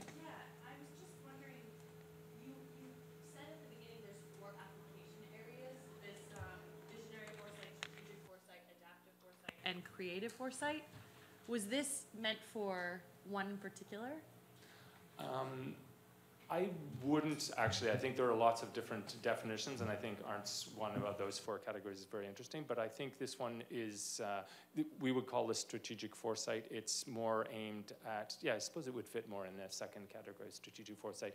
It's really not designed so much for the visioning and the, the world we want, but more for what is the potential worlds that we could be facing. So then you can bring that back and say, now how does that impact our plans, our strategies, and what it is that, you know, and how do we achieve what we want in under each of those scenarios to make sure that our plans. So yeah, I think that's, but thanks for the question. Okay, so scenario one, two, two is the whole um, horseshoe, and then three, and then four. Okay, so I hope you caught that scenario one. We can, I'll come back and, uh, and, and tell you more afterwards. But yeah, think through that, that idea. This is a world where, um, where everyone has, you know, what are the implications of everybody being connected in the world to that? And what does that mean for communities? Um, second, we have one where uh, which we're already seeing uh, with governments such as China, but also India where, and, and, Estonia, others, where governments, rather than staying out of the digital transformation, are playing a highly active role, saying we are going to drive, we're going to lead, but we're also going to um, see ourselves as being somewhat of the platforms uh, in, and not just leave that to the, the corporation's role. And um, and actually play an active role in helping to build the digital transformation. So what if um, we're saying here, what, what if countries go that way? What if they sort of take a, an active approach to sort of take complete forms of virtual and digital government at the national level? What could that mean for, for communities and for cities in that? The third one is around, uh, we're calling corporate connectors. And so this is really an extrapolation of some of the trends that we are seeing now, but what if they went, if they continue to grow? What if we saw ourselves in 10 to 15 years, we found ourselves with sort of uh, most of the global digital economy being dominated by six to eight large global players. Of course, you know, we're familiar with uh, Google, Apple, Facebook, Amazon in the West, but also uh, the emerging uh, tech giants out of China as well. Maybe there'll be some new ones. Um, but what happens if there's really a consolidation of activity there around these uh, digital platforms? And um, for cities, what if you know these platforms are kind of competing to bring cities and communities into their respective smart city platforms? What opportunities and challenges does that create for communities?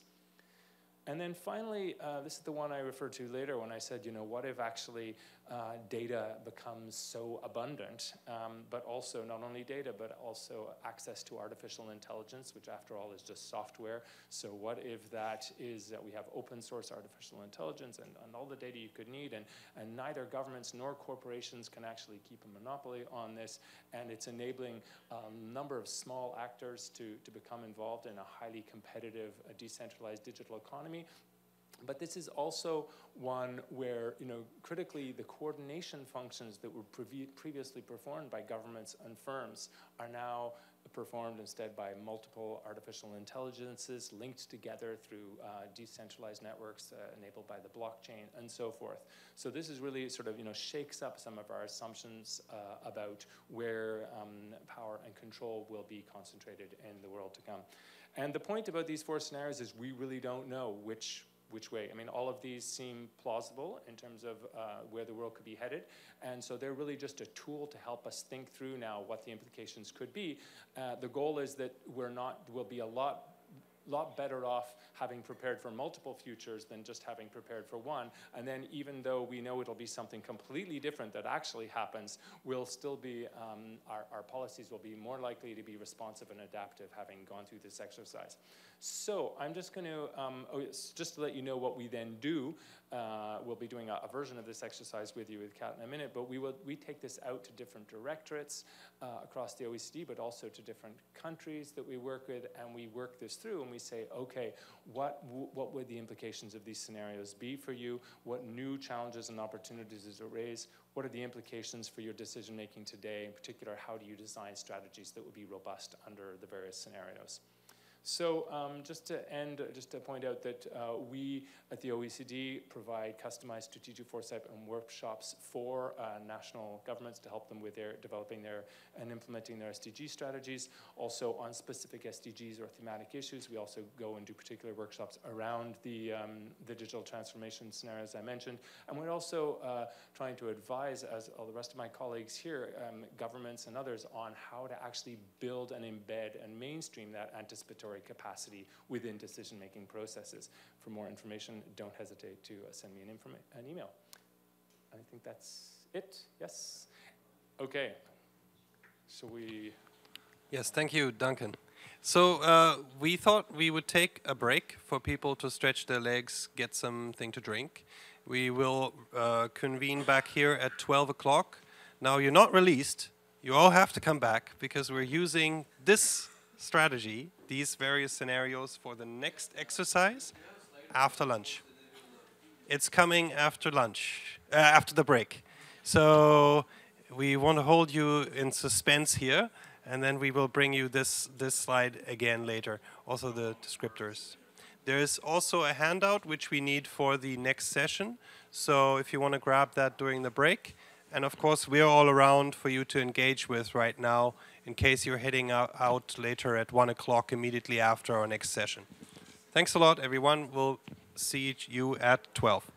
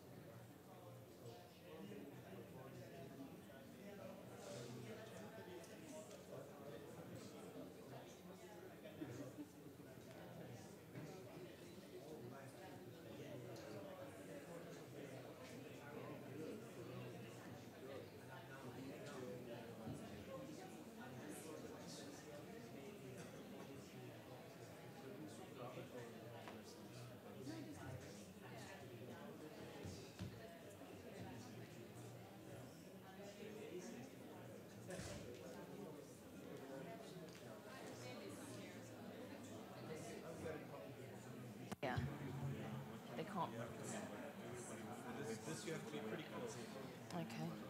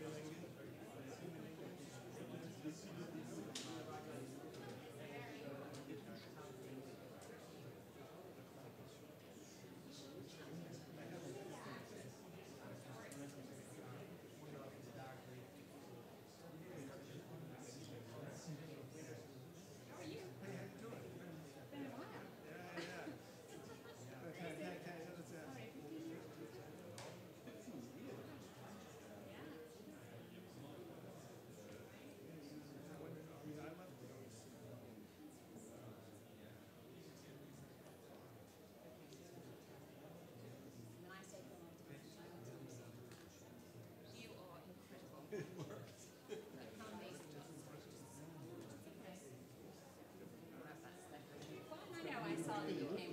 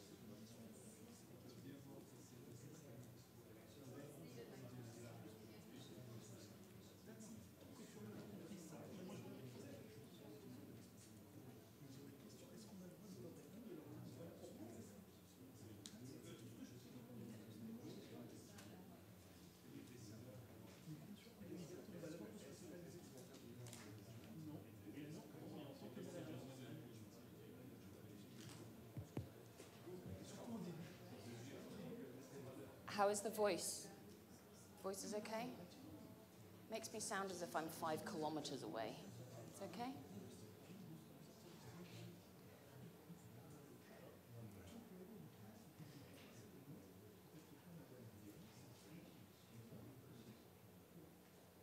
Well, nice use of the gavel, Arndt. Thank you. I formally declare the second part of this session open. Welcome back, ladies and gentlemen. My name is Kat Tully, and I was where you sit a few years ago. I was using strategic foresight, I was learning about strategic foresight, and I was using it in governments, with Christian aid, and in the private sector. And what's so interesting about strategic foresight is the fact that with the SDGs, which is a universal, complex, independent, interdependent approach to policy making, we need a governance and policy making approach to match. And that is why strategic foresight is so important. It's why we're so passionate about getting strategic foresight to have impact. And so this is what we're going to spend the next hour doing, is exploring how we take all these concepts that we've discussed, exploring the future, in order to make better decisions today. So we're going to talk about foresight with impact.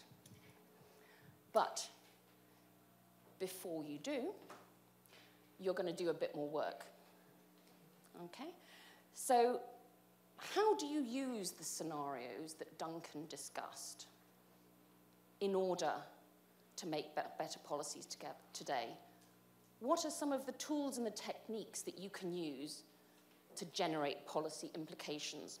And we are going to do a very quick and dirty taster exercise to give you an insight into one of the many tools that you can use. Because foresight, if it does anything, is about giving you different perspectives instead of looking at the world and its possibilities from the here and the now. You are looking from the future and through the eyes of different people. So, we are going to do a personas exercise. You are going to be given a persona. We are going to then look at the scenario that you were given and then you're going to explore what are the emerging opportunities for your person in that scenario. Okay? So, does everybody have a handout? Good? Excellent. Here are the personas. Okay? We have a national policy maker.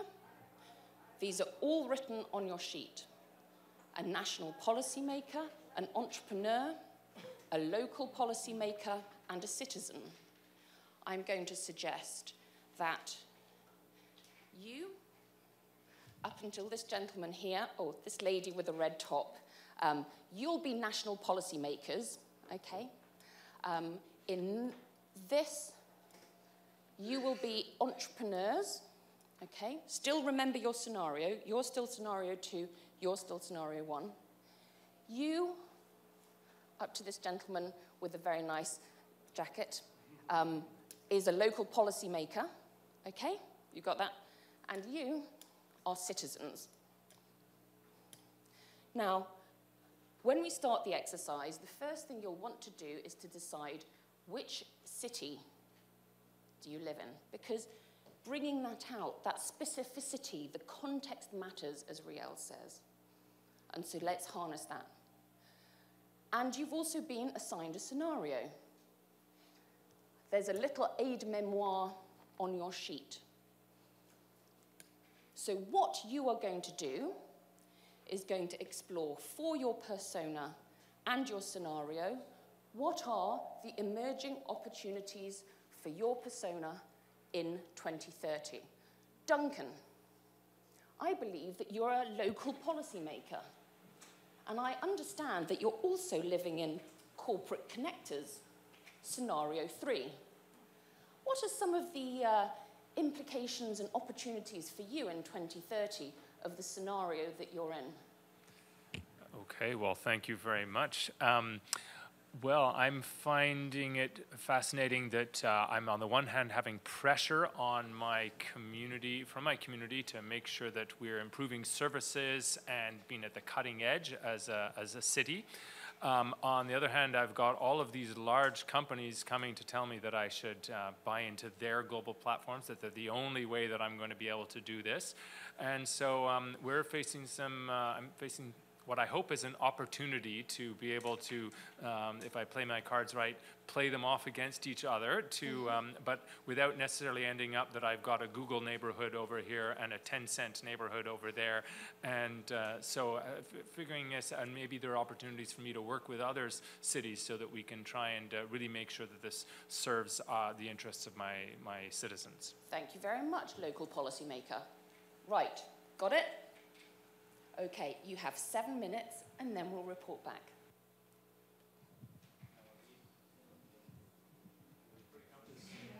Yep, let's put the scenarios back. Oh, yeah, that's, that's right. So you're a, you're a person in a city with a scenario. What are the opportunities?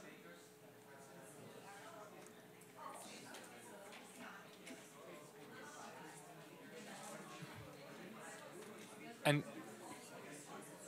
Kat, what are the group sizes?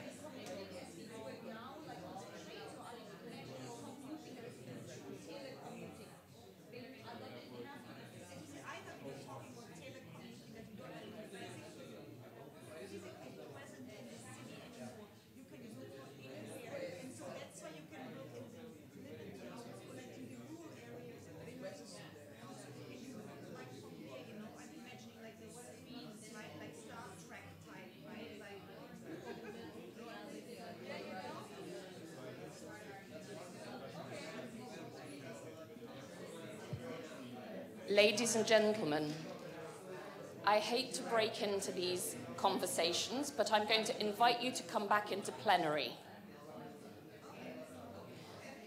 Ladies and gentlemen, please can you get in your time capsules and return from 2030 to 2018? Thank you.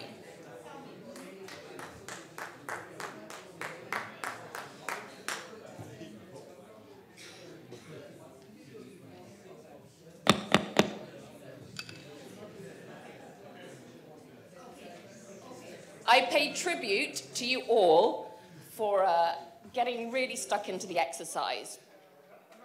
Energy levels, a little bit uncertain to begin with, but within five minutes, boy, did you get into it. So I would like to invite a group to take 30 seconds to give key feedback on what were some of the implications for their persona in their city in 2030. Anybody want to volunteer? Thank you. All right. Oh, Or I can use this. Doesn't make maybe better. I'm used to I'll stay. Um, okay. Um, so we are, I'm the persona, I'm the uh, consumer, and I live. Huh? Which city are you I'm getting there.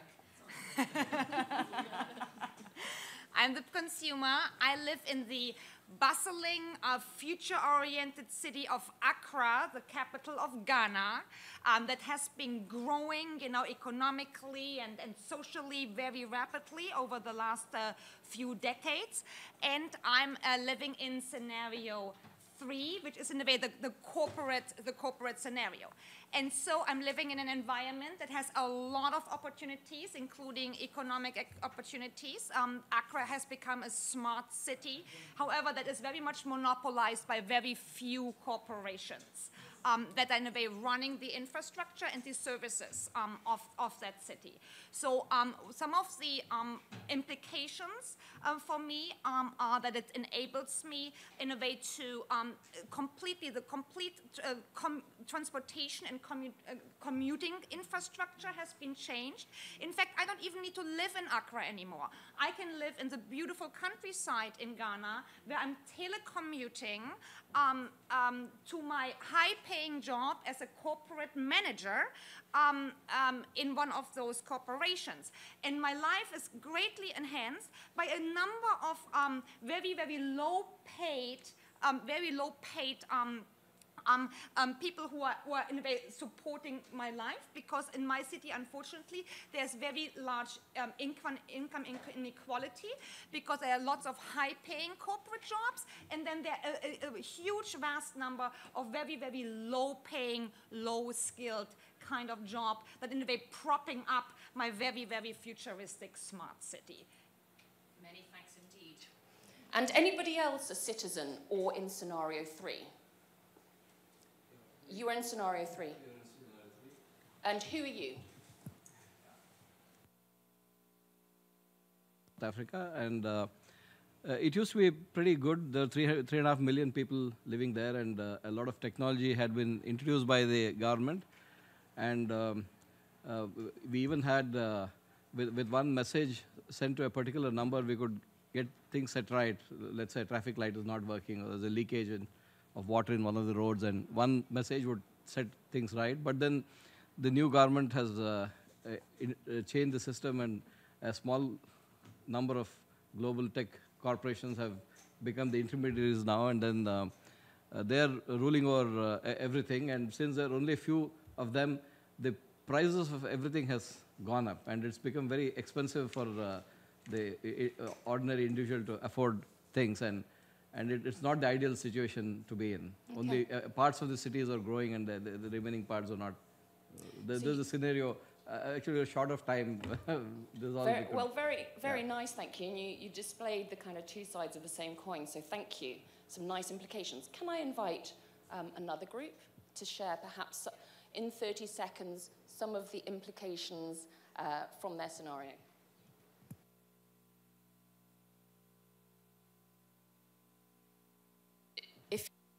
You can say who you are, what scenario you're in, and what city you are in, please.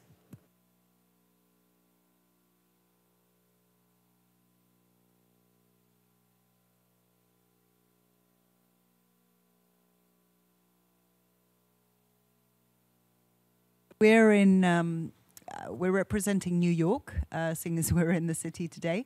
Um, we're very much building off the scenario that you discussed because we're local policymakers um, looking at the corporate connectors environment.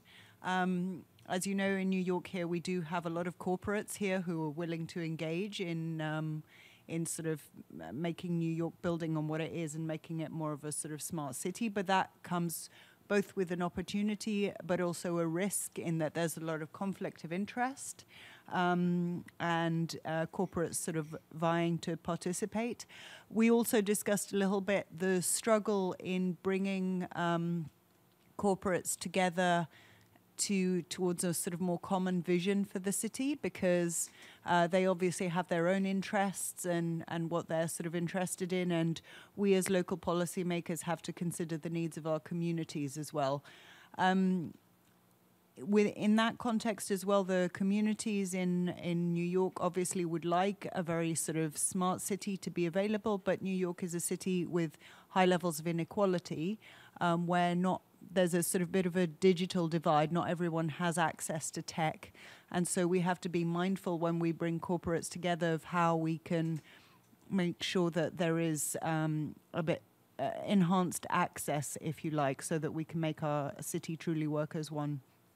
Another area that we sort of saw um, as an opportunity, but it's, it's got an upside and a downside, is that it's an opportunity to upgrade the infrastructure in the city. It's obviously a city which has been you know, at the forefront of development in the world for many, many years, but a lot of its infrastructure is somewhat outdated.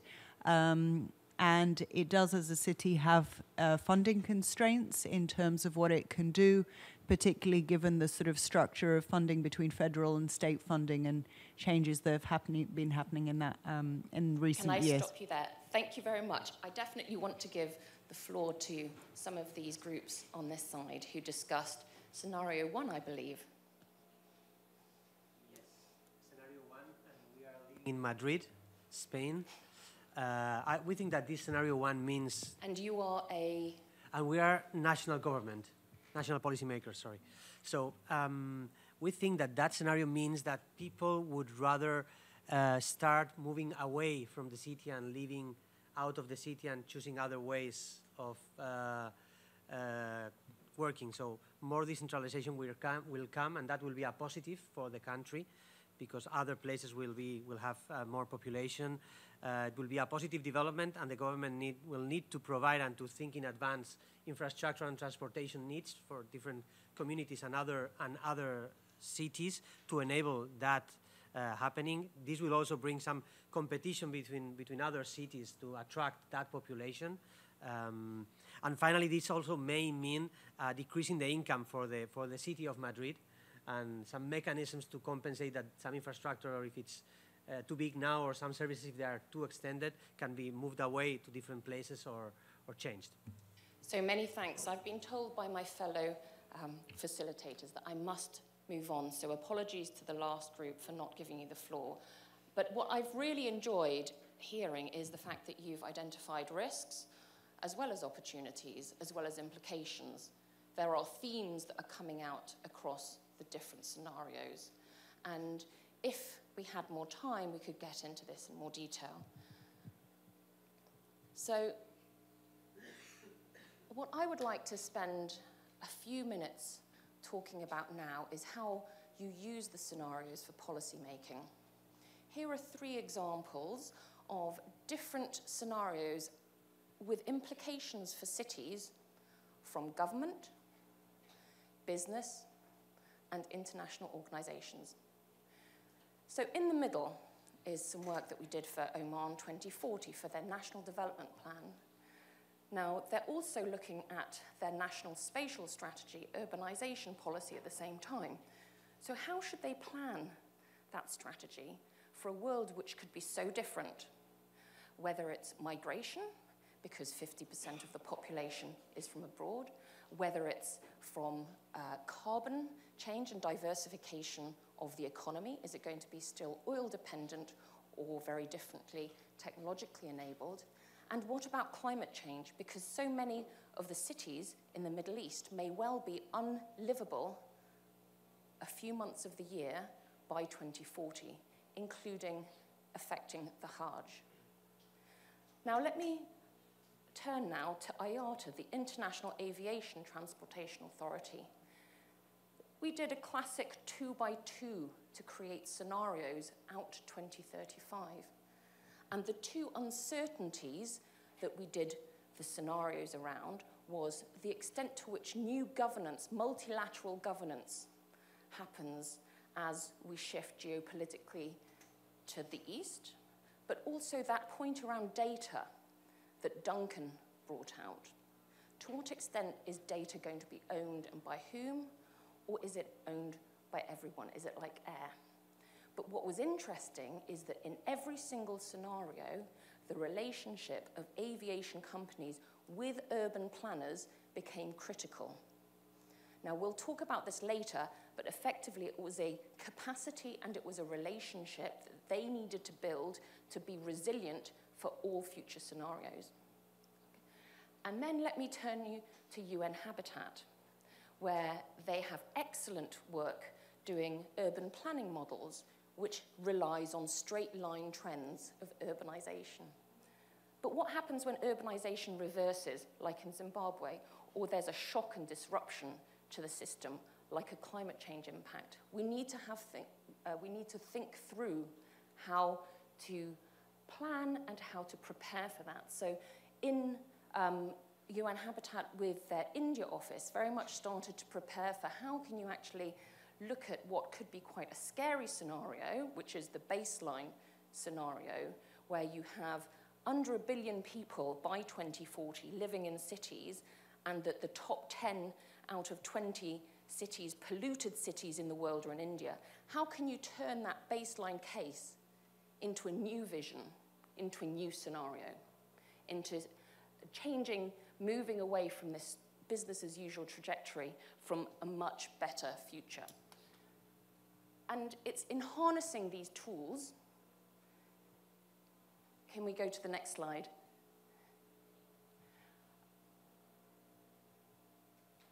And it's in harnessing these tools, the next slide, I'm going to show you a quote by the UN Secretary General. We live in an uncertain, volatile world. We need to use these tools and techniques in order to help us achieve the Sustainable Development Goals. But it's not just as a technocratic exercise. The power of scenarios and the power of strategic foresight is at the core of development because it is about agency. It is about the depiction of your desired future. So I use Wakanda too, but I use it as a positive story. This is the power of people coming together and saying, we can create a different future. So that the power of communities coming together collaboratively to discuss what their futures can look like is a deeply political act of agency in a world of turbulence and where political systems aren't always successfully listening to those at the periphery. It is core to the act of leaving no one behind is to go and listen to the communities and to help build those processes that enable communities to think about their future. And the Philippines and, the, and Indonesia do this excessively well at scale. So, very quickly, you can depict the future all you like in your scenarios, but how do you then use that? Um, you use it for vision. You create a positive view of where you want to get to. You harness people's energies. But you also use it to manage risk. You're aware that the future will not develop in the way that you want it to. So you need to be aware. You shouldn't be blindsided by risks. You should be scanning the horizon and be prepared with contingency plans and ready to pick up on early warning indicators. This is what anticipatory government is about. You don't use indicators from the past, like a rear view mirror. You look through the windscreen at the future. And finally, neither the future we hope for nor the one that we fear in our stories that we depict are ever going to come to pass. They, it is a fantasy, it's a story we tell ourselves, it's an imaginative endeavor that we're on. But the fundamental thing is by conducting this um, imaginative endeavor, we become more agile, responsive, and are able to respond to the future as it evolves. Here are some tools. There's a, we've talked very little about tools so far, but there are a lot of tools in the strategic foresight domain. And to help you achieve those goals of vision, risk management, and agility, there's a lot of them. Visioning, you bring people together to create your desired future. Wind tunneling is what I just said um, about the IATA scenarios. What are the capabilities that are resilient in all different scenarios? How can we use those? What are, uh, how good is my current organizational structure for the kind of futures that I'm going to face? Let's test our current strategies against the possible futures and backcasting. Now, what we've done is we've talked a lot about ordering, which is depicting different futures. And that's where 90% of a lot of activity stays. It's like hanging out there in 2030. And sometimes we think about implications. But, and this is why I'm so glad that so many of the questions earlier started touching on this, the million dollar question is how do you integrate that into your organization, into your local, um, local government planning, at the national level, in your communities, because otherwise those are interesting insights that don't get acted on. And here are some examples of organizations that have done it well in NYC. They've actually adopted the SDG framework into their planning processes, and they're actually using um, different ways. Uh, the interesting thing is when you use budgeting, for example, behind your strategic foresight exercises, making sure that any uh, disbursement has to be tested against possible scenarios of the future. And here is a way of thinking about how you can integrate it into your organization. Think about how you communicate your values as an organization. Do you think about the future? Is being future focused a core value? What about the processes, not just financing, but performance management? Are you recruiting the right people? So these are all things to bear in mind when you're actually really trying to take exercises about the future and embed it into your organizations.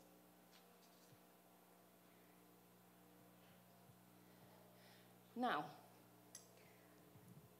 one of the ways of taking a first step as an organization uh, to think about the future is by setting up a scanning network.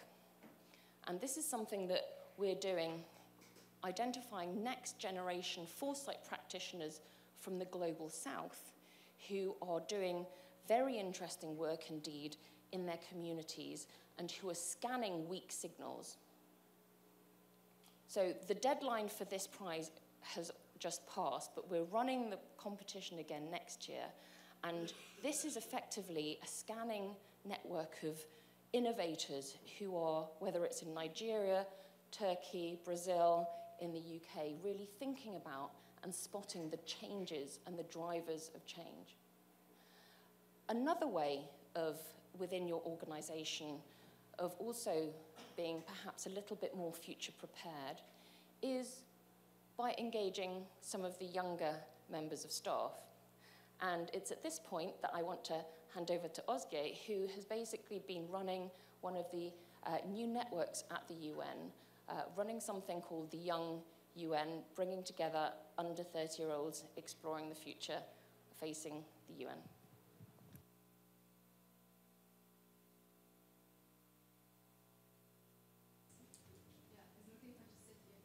Thank you so much. I mean, first of all, thanks so much, Kat, to give us this opportunity to give you a one or two minute just of a glimpse of what we are um, trying to achieve or sort of the, the way we have embarked on as the young UN in the, in the scope and of the realm of, of let's say, thinking differently and thinking uh, with a perspective that is more forward looking.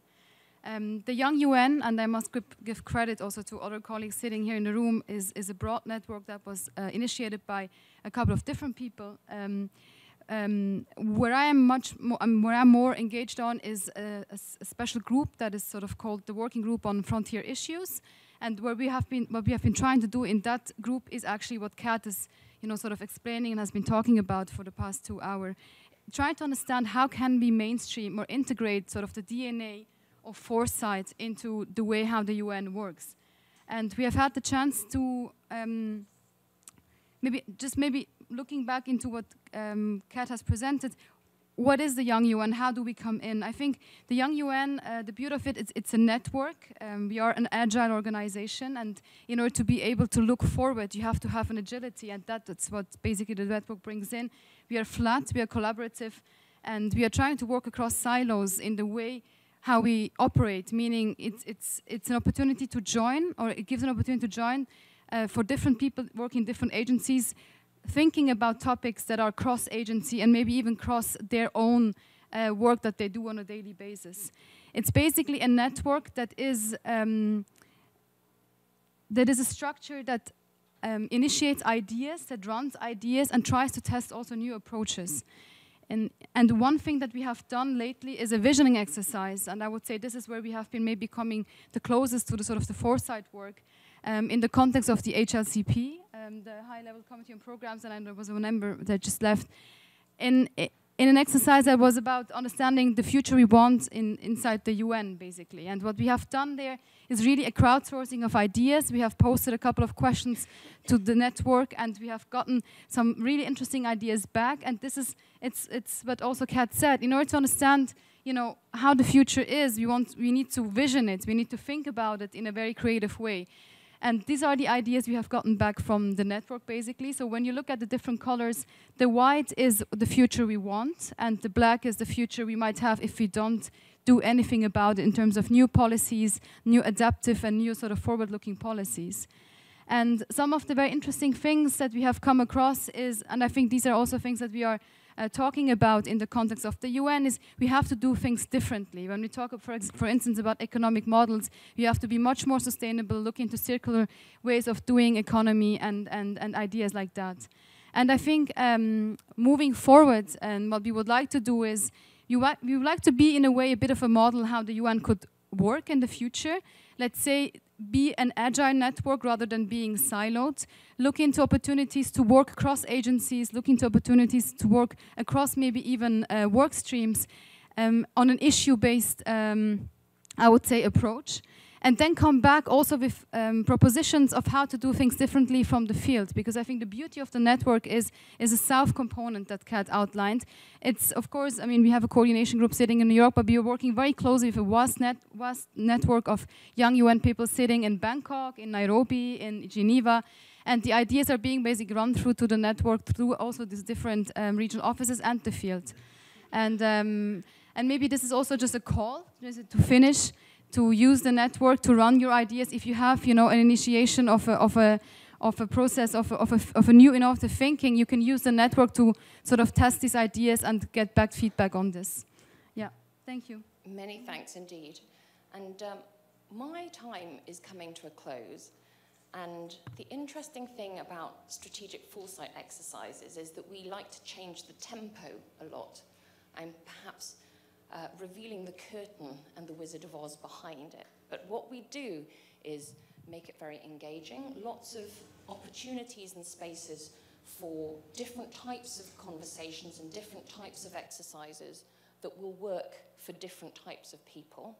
And we tend to use a process of divergence and then convergence of space where we get a lot of interaction and then a space for personal reflection. So I am going to use these last 90 seconds of my session to invite you individually to close your eyes and to think about the answers to these two questions. You have spent three hours here listening to some of the greatest thinkers of how strategic foresight can play out in the Sustainable Development Goal field. So my challenge to you is please spend these 90 seconds to think, so what? What's the one thing that you've taken out of today? And now what? What's the one thing you're going to do differently? Okay? So your 90 seconds starts now.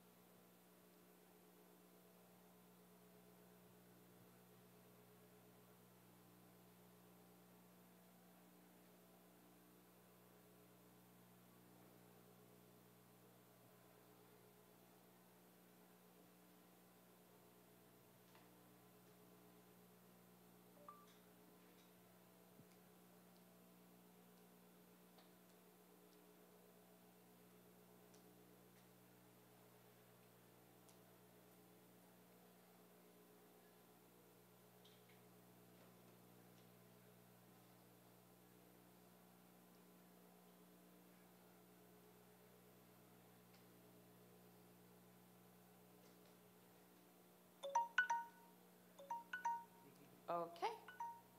Well, thank you very much for following instructions so beautifully. I saw a lot of you with your eyes closed. Um, thank you very much, and I think now we've got some nice time to have a few Q&As. Thank you. Thanks a lot, Kat. That was a really nice exercise to prepare us for the Q&A. Uh, maybe even some reflections from people on what they would like to do. Uh, so we have until one o'clock to do that. And of course, if you want to talk to any of us individually afterwards, we'll be around for a little bit longer. But does anyone have a question or comment to make about the last few sessions? Yes, please.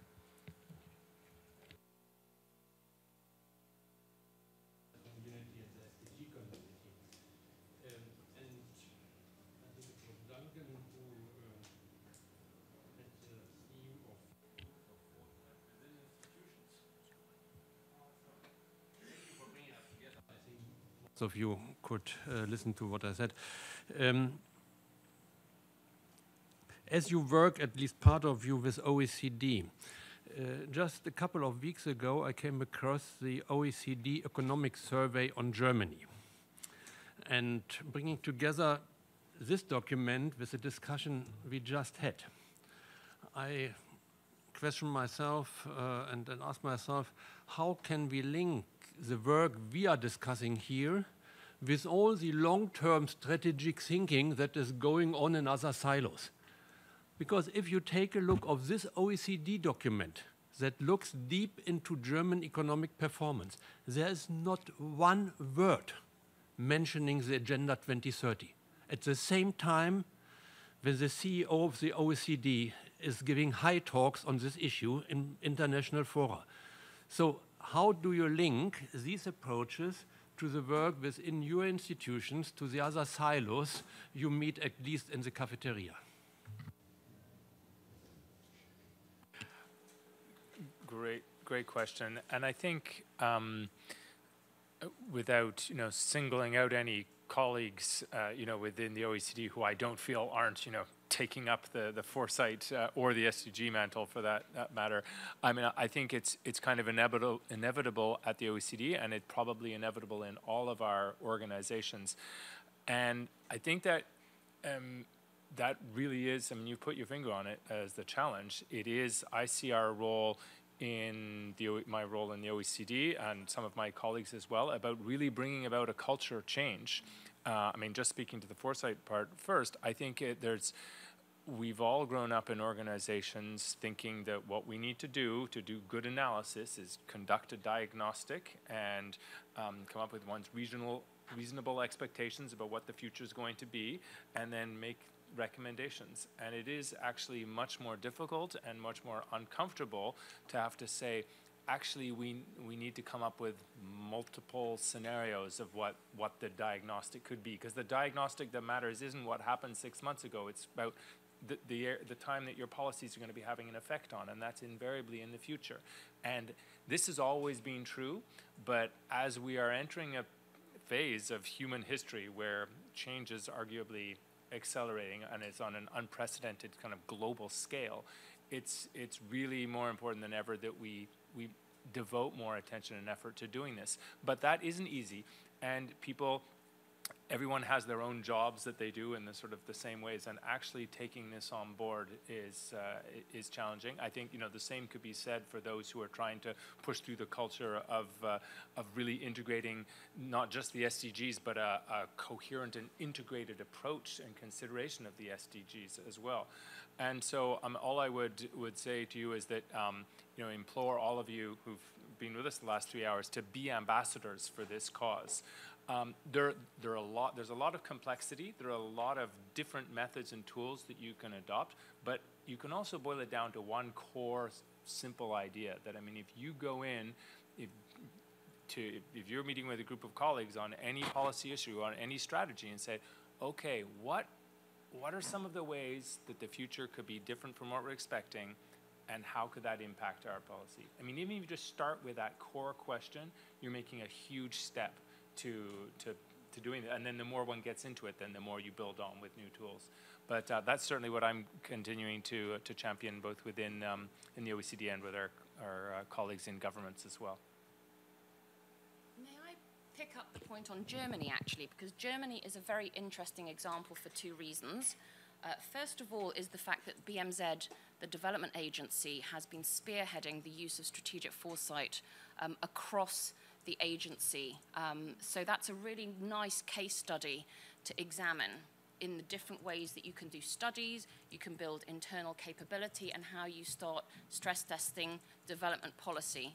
The other interesting uh, reason that um, the other reason why Germany is very interesting is because um, in the coalition agreement five years ago, there was a, a, strong commitment to strategic foresight, which kicked off a cross ministerial process um, and now a new strategic foresight unit has been created in the Chancellery, um, in Chancellor Merkel's office to, to spearhead this approach. It's a whole of government approach, which the development policy is part of that. Thanks, Kat. Before I take the next comment or question, just to mention our feedback uh, questionnaire. It's online at this link.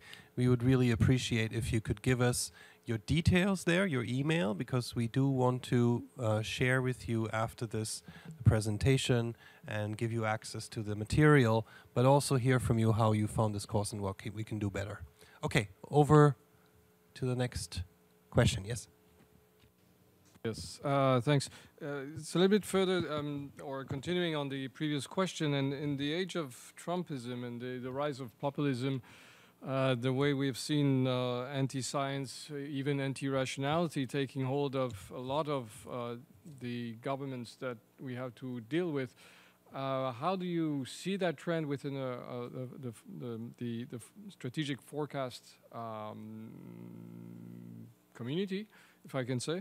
Um, and, and what do you make of it? How do you explain it, and how do you confront it? Because that's going exactly in the opposite direction of what has what you you are advocating and proposing as tools for rational planning and adaptive adaptive planning, and yet uh, we see part of the world and, and going in the in the opposite direction in a very uh, in a very um, distressful way. It's an important question and it's an important theme. Uh, uh 38 years ago, so let's say in 1980. Um, I was studying command planning down the road from here at the New School for Social Research. I spent an entire year uh, looking at how China uh, controlled its economy uh, and attempted to create policy coherence. um, and subsequently, as a, an advisor to governments and as somebody who's worked in the civil service at national, international, local levels, um, I've also heard us often exclaim the importance of coherence and the crucial role of science and rationality. Um, I think there's a symptom perhaps here that calls into question that perspective. Um, I think that the idea that we're going to be able to create coherence, rationality, and, and control, that we're going to be able to uh, integrate the vastness through some brilliant or huge uh, effort um, is misplaced. Uh, reality doesn't fall apart. Uh, reality does not actually, in my view, and I think it's this is the, become more or less complex. It is complex. It is emergent as a complex, evolving assemblage, not a totality. We are entangled. We're relational. We're not objectified. We're moving beyond objectification ontologies to relational ontologies, where we are part of everything and everything is part of us. These seem to me to imply some changes in the basic way in which we conceptualize how things happen and how we play a role in how things happen. And so, if there's some pushback because people are disappointed that the effort to create coherence, which I have uh, you know, experienced personally as a civil servant dozens of times, um, maybe that pushback is trying to say something about the pretension of the rationalist enlightenment project. Uh, and this is, this is a profound and difficult issue, and we're in a period which many people would characterize as a period of transition in that sense. Some certainties and some existing systems are in decline, are in disrepute, are ineffective. And so the challenge becomes, it seems to me, uh, to, to not reject that. And from that point of view, populism is popular. And say, how can we rethink the foundation of our approach to addressing these issues? Now, that doesn't mean we throw the baby out with the bathwater, and a transition doesn't happen overnight. Takes a long time, often. So I just, I just think that, that we need to be very careful in, in how we respond to that. And as much as we can be urged to redouble our efforts at coherence, redouble our efforts at connecting up, which in and of itself is not bad, improvement is always good. There's nevertheless another issue uh, that sort of came up kind of implicitly, I think, in the, in the, in the youth uh, saying, let's go, let, what, what about these silos? Aren't these silos a bit of a problem? Now, silos are very effective if you want to create direct linkages and say one plus two plus three, and you can connect them up and you can create a very rational plan. But if you go non silo, how does coherence happen? It doesn't. It's a different way of creating connectivity and creating spontaneity and engagement and it implies a different role, less, less hubris on the part of humans, uh, and more kind of ability to surf, as was put into one of the slides here. So I'm not, I'm not kind of trying to be negative or reject the question. I just think we need to enlarge our way of looking in order to understand what's going on.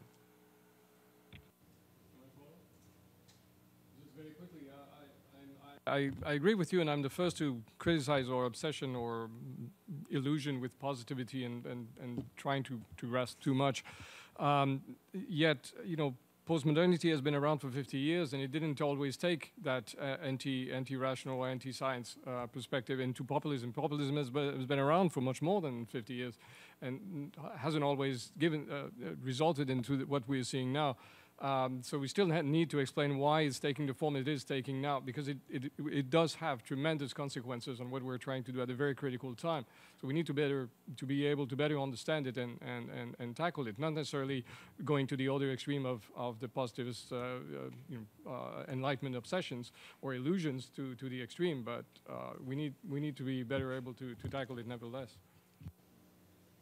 Yeah, I think we're all nodding over here. That's, that's right. Yeah, please. Because I think it's important to look at the macro level.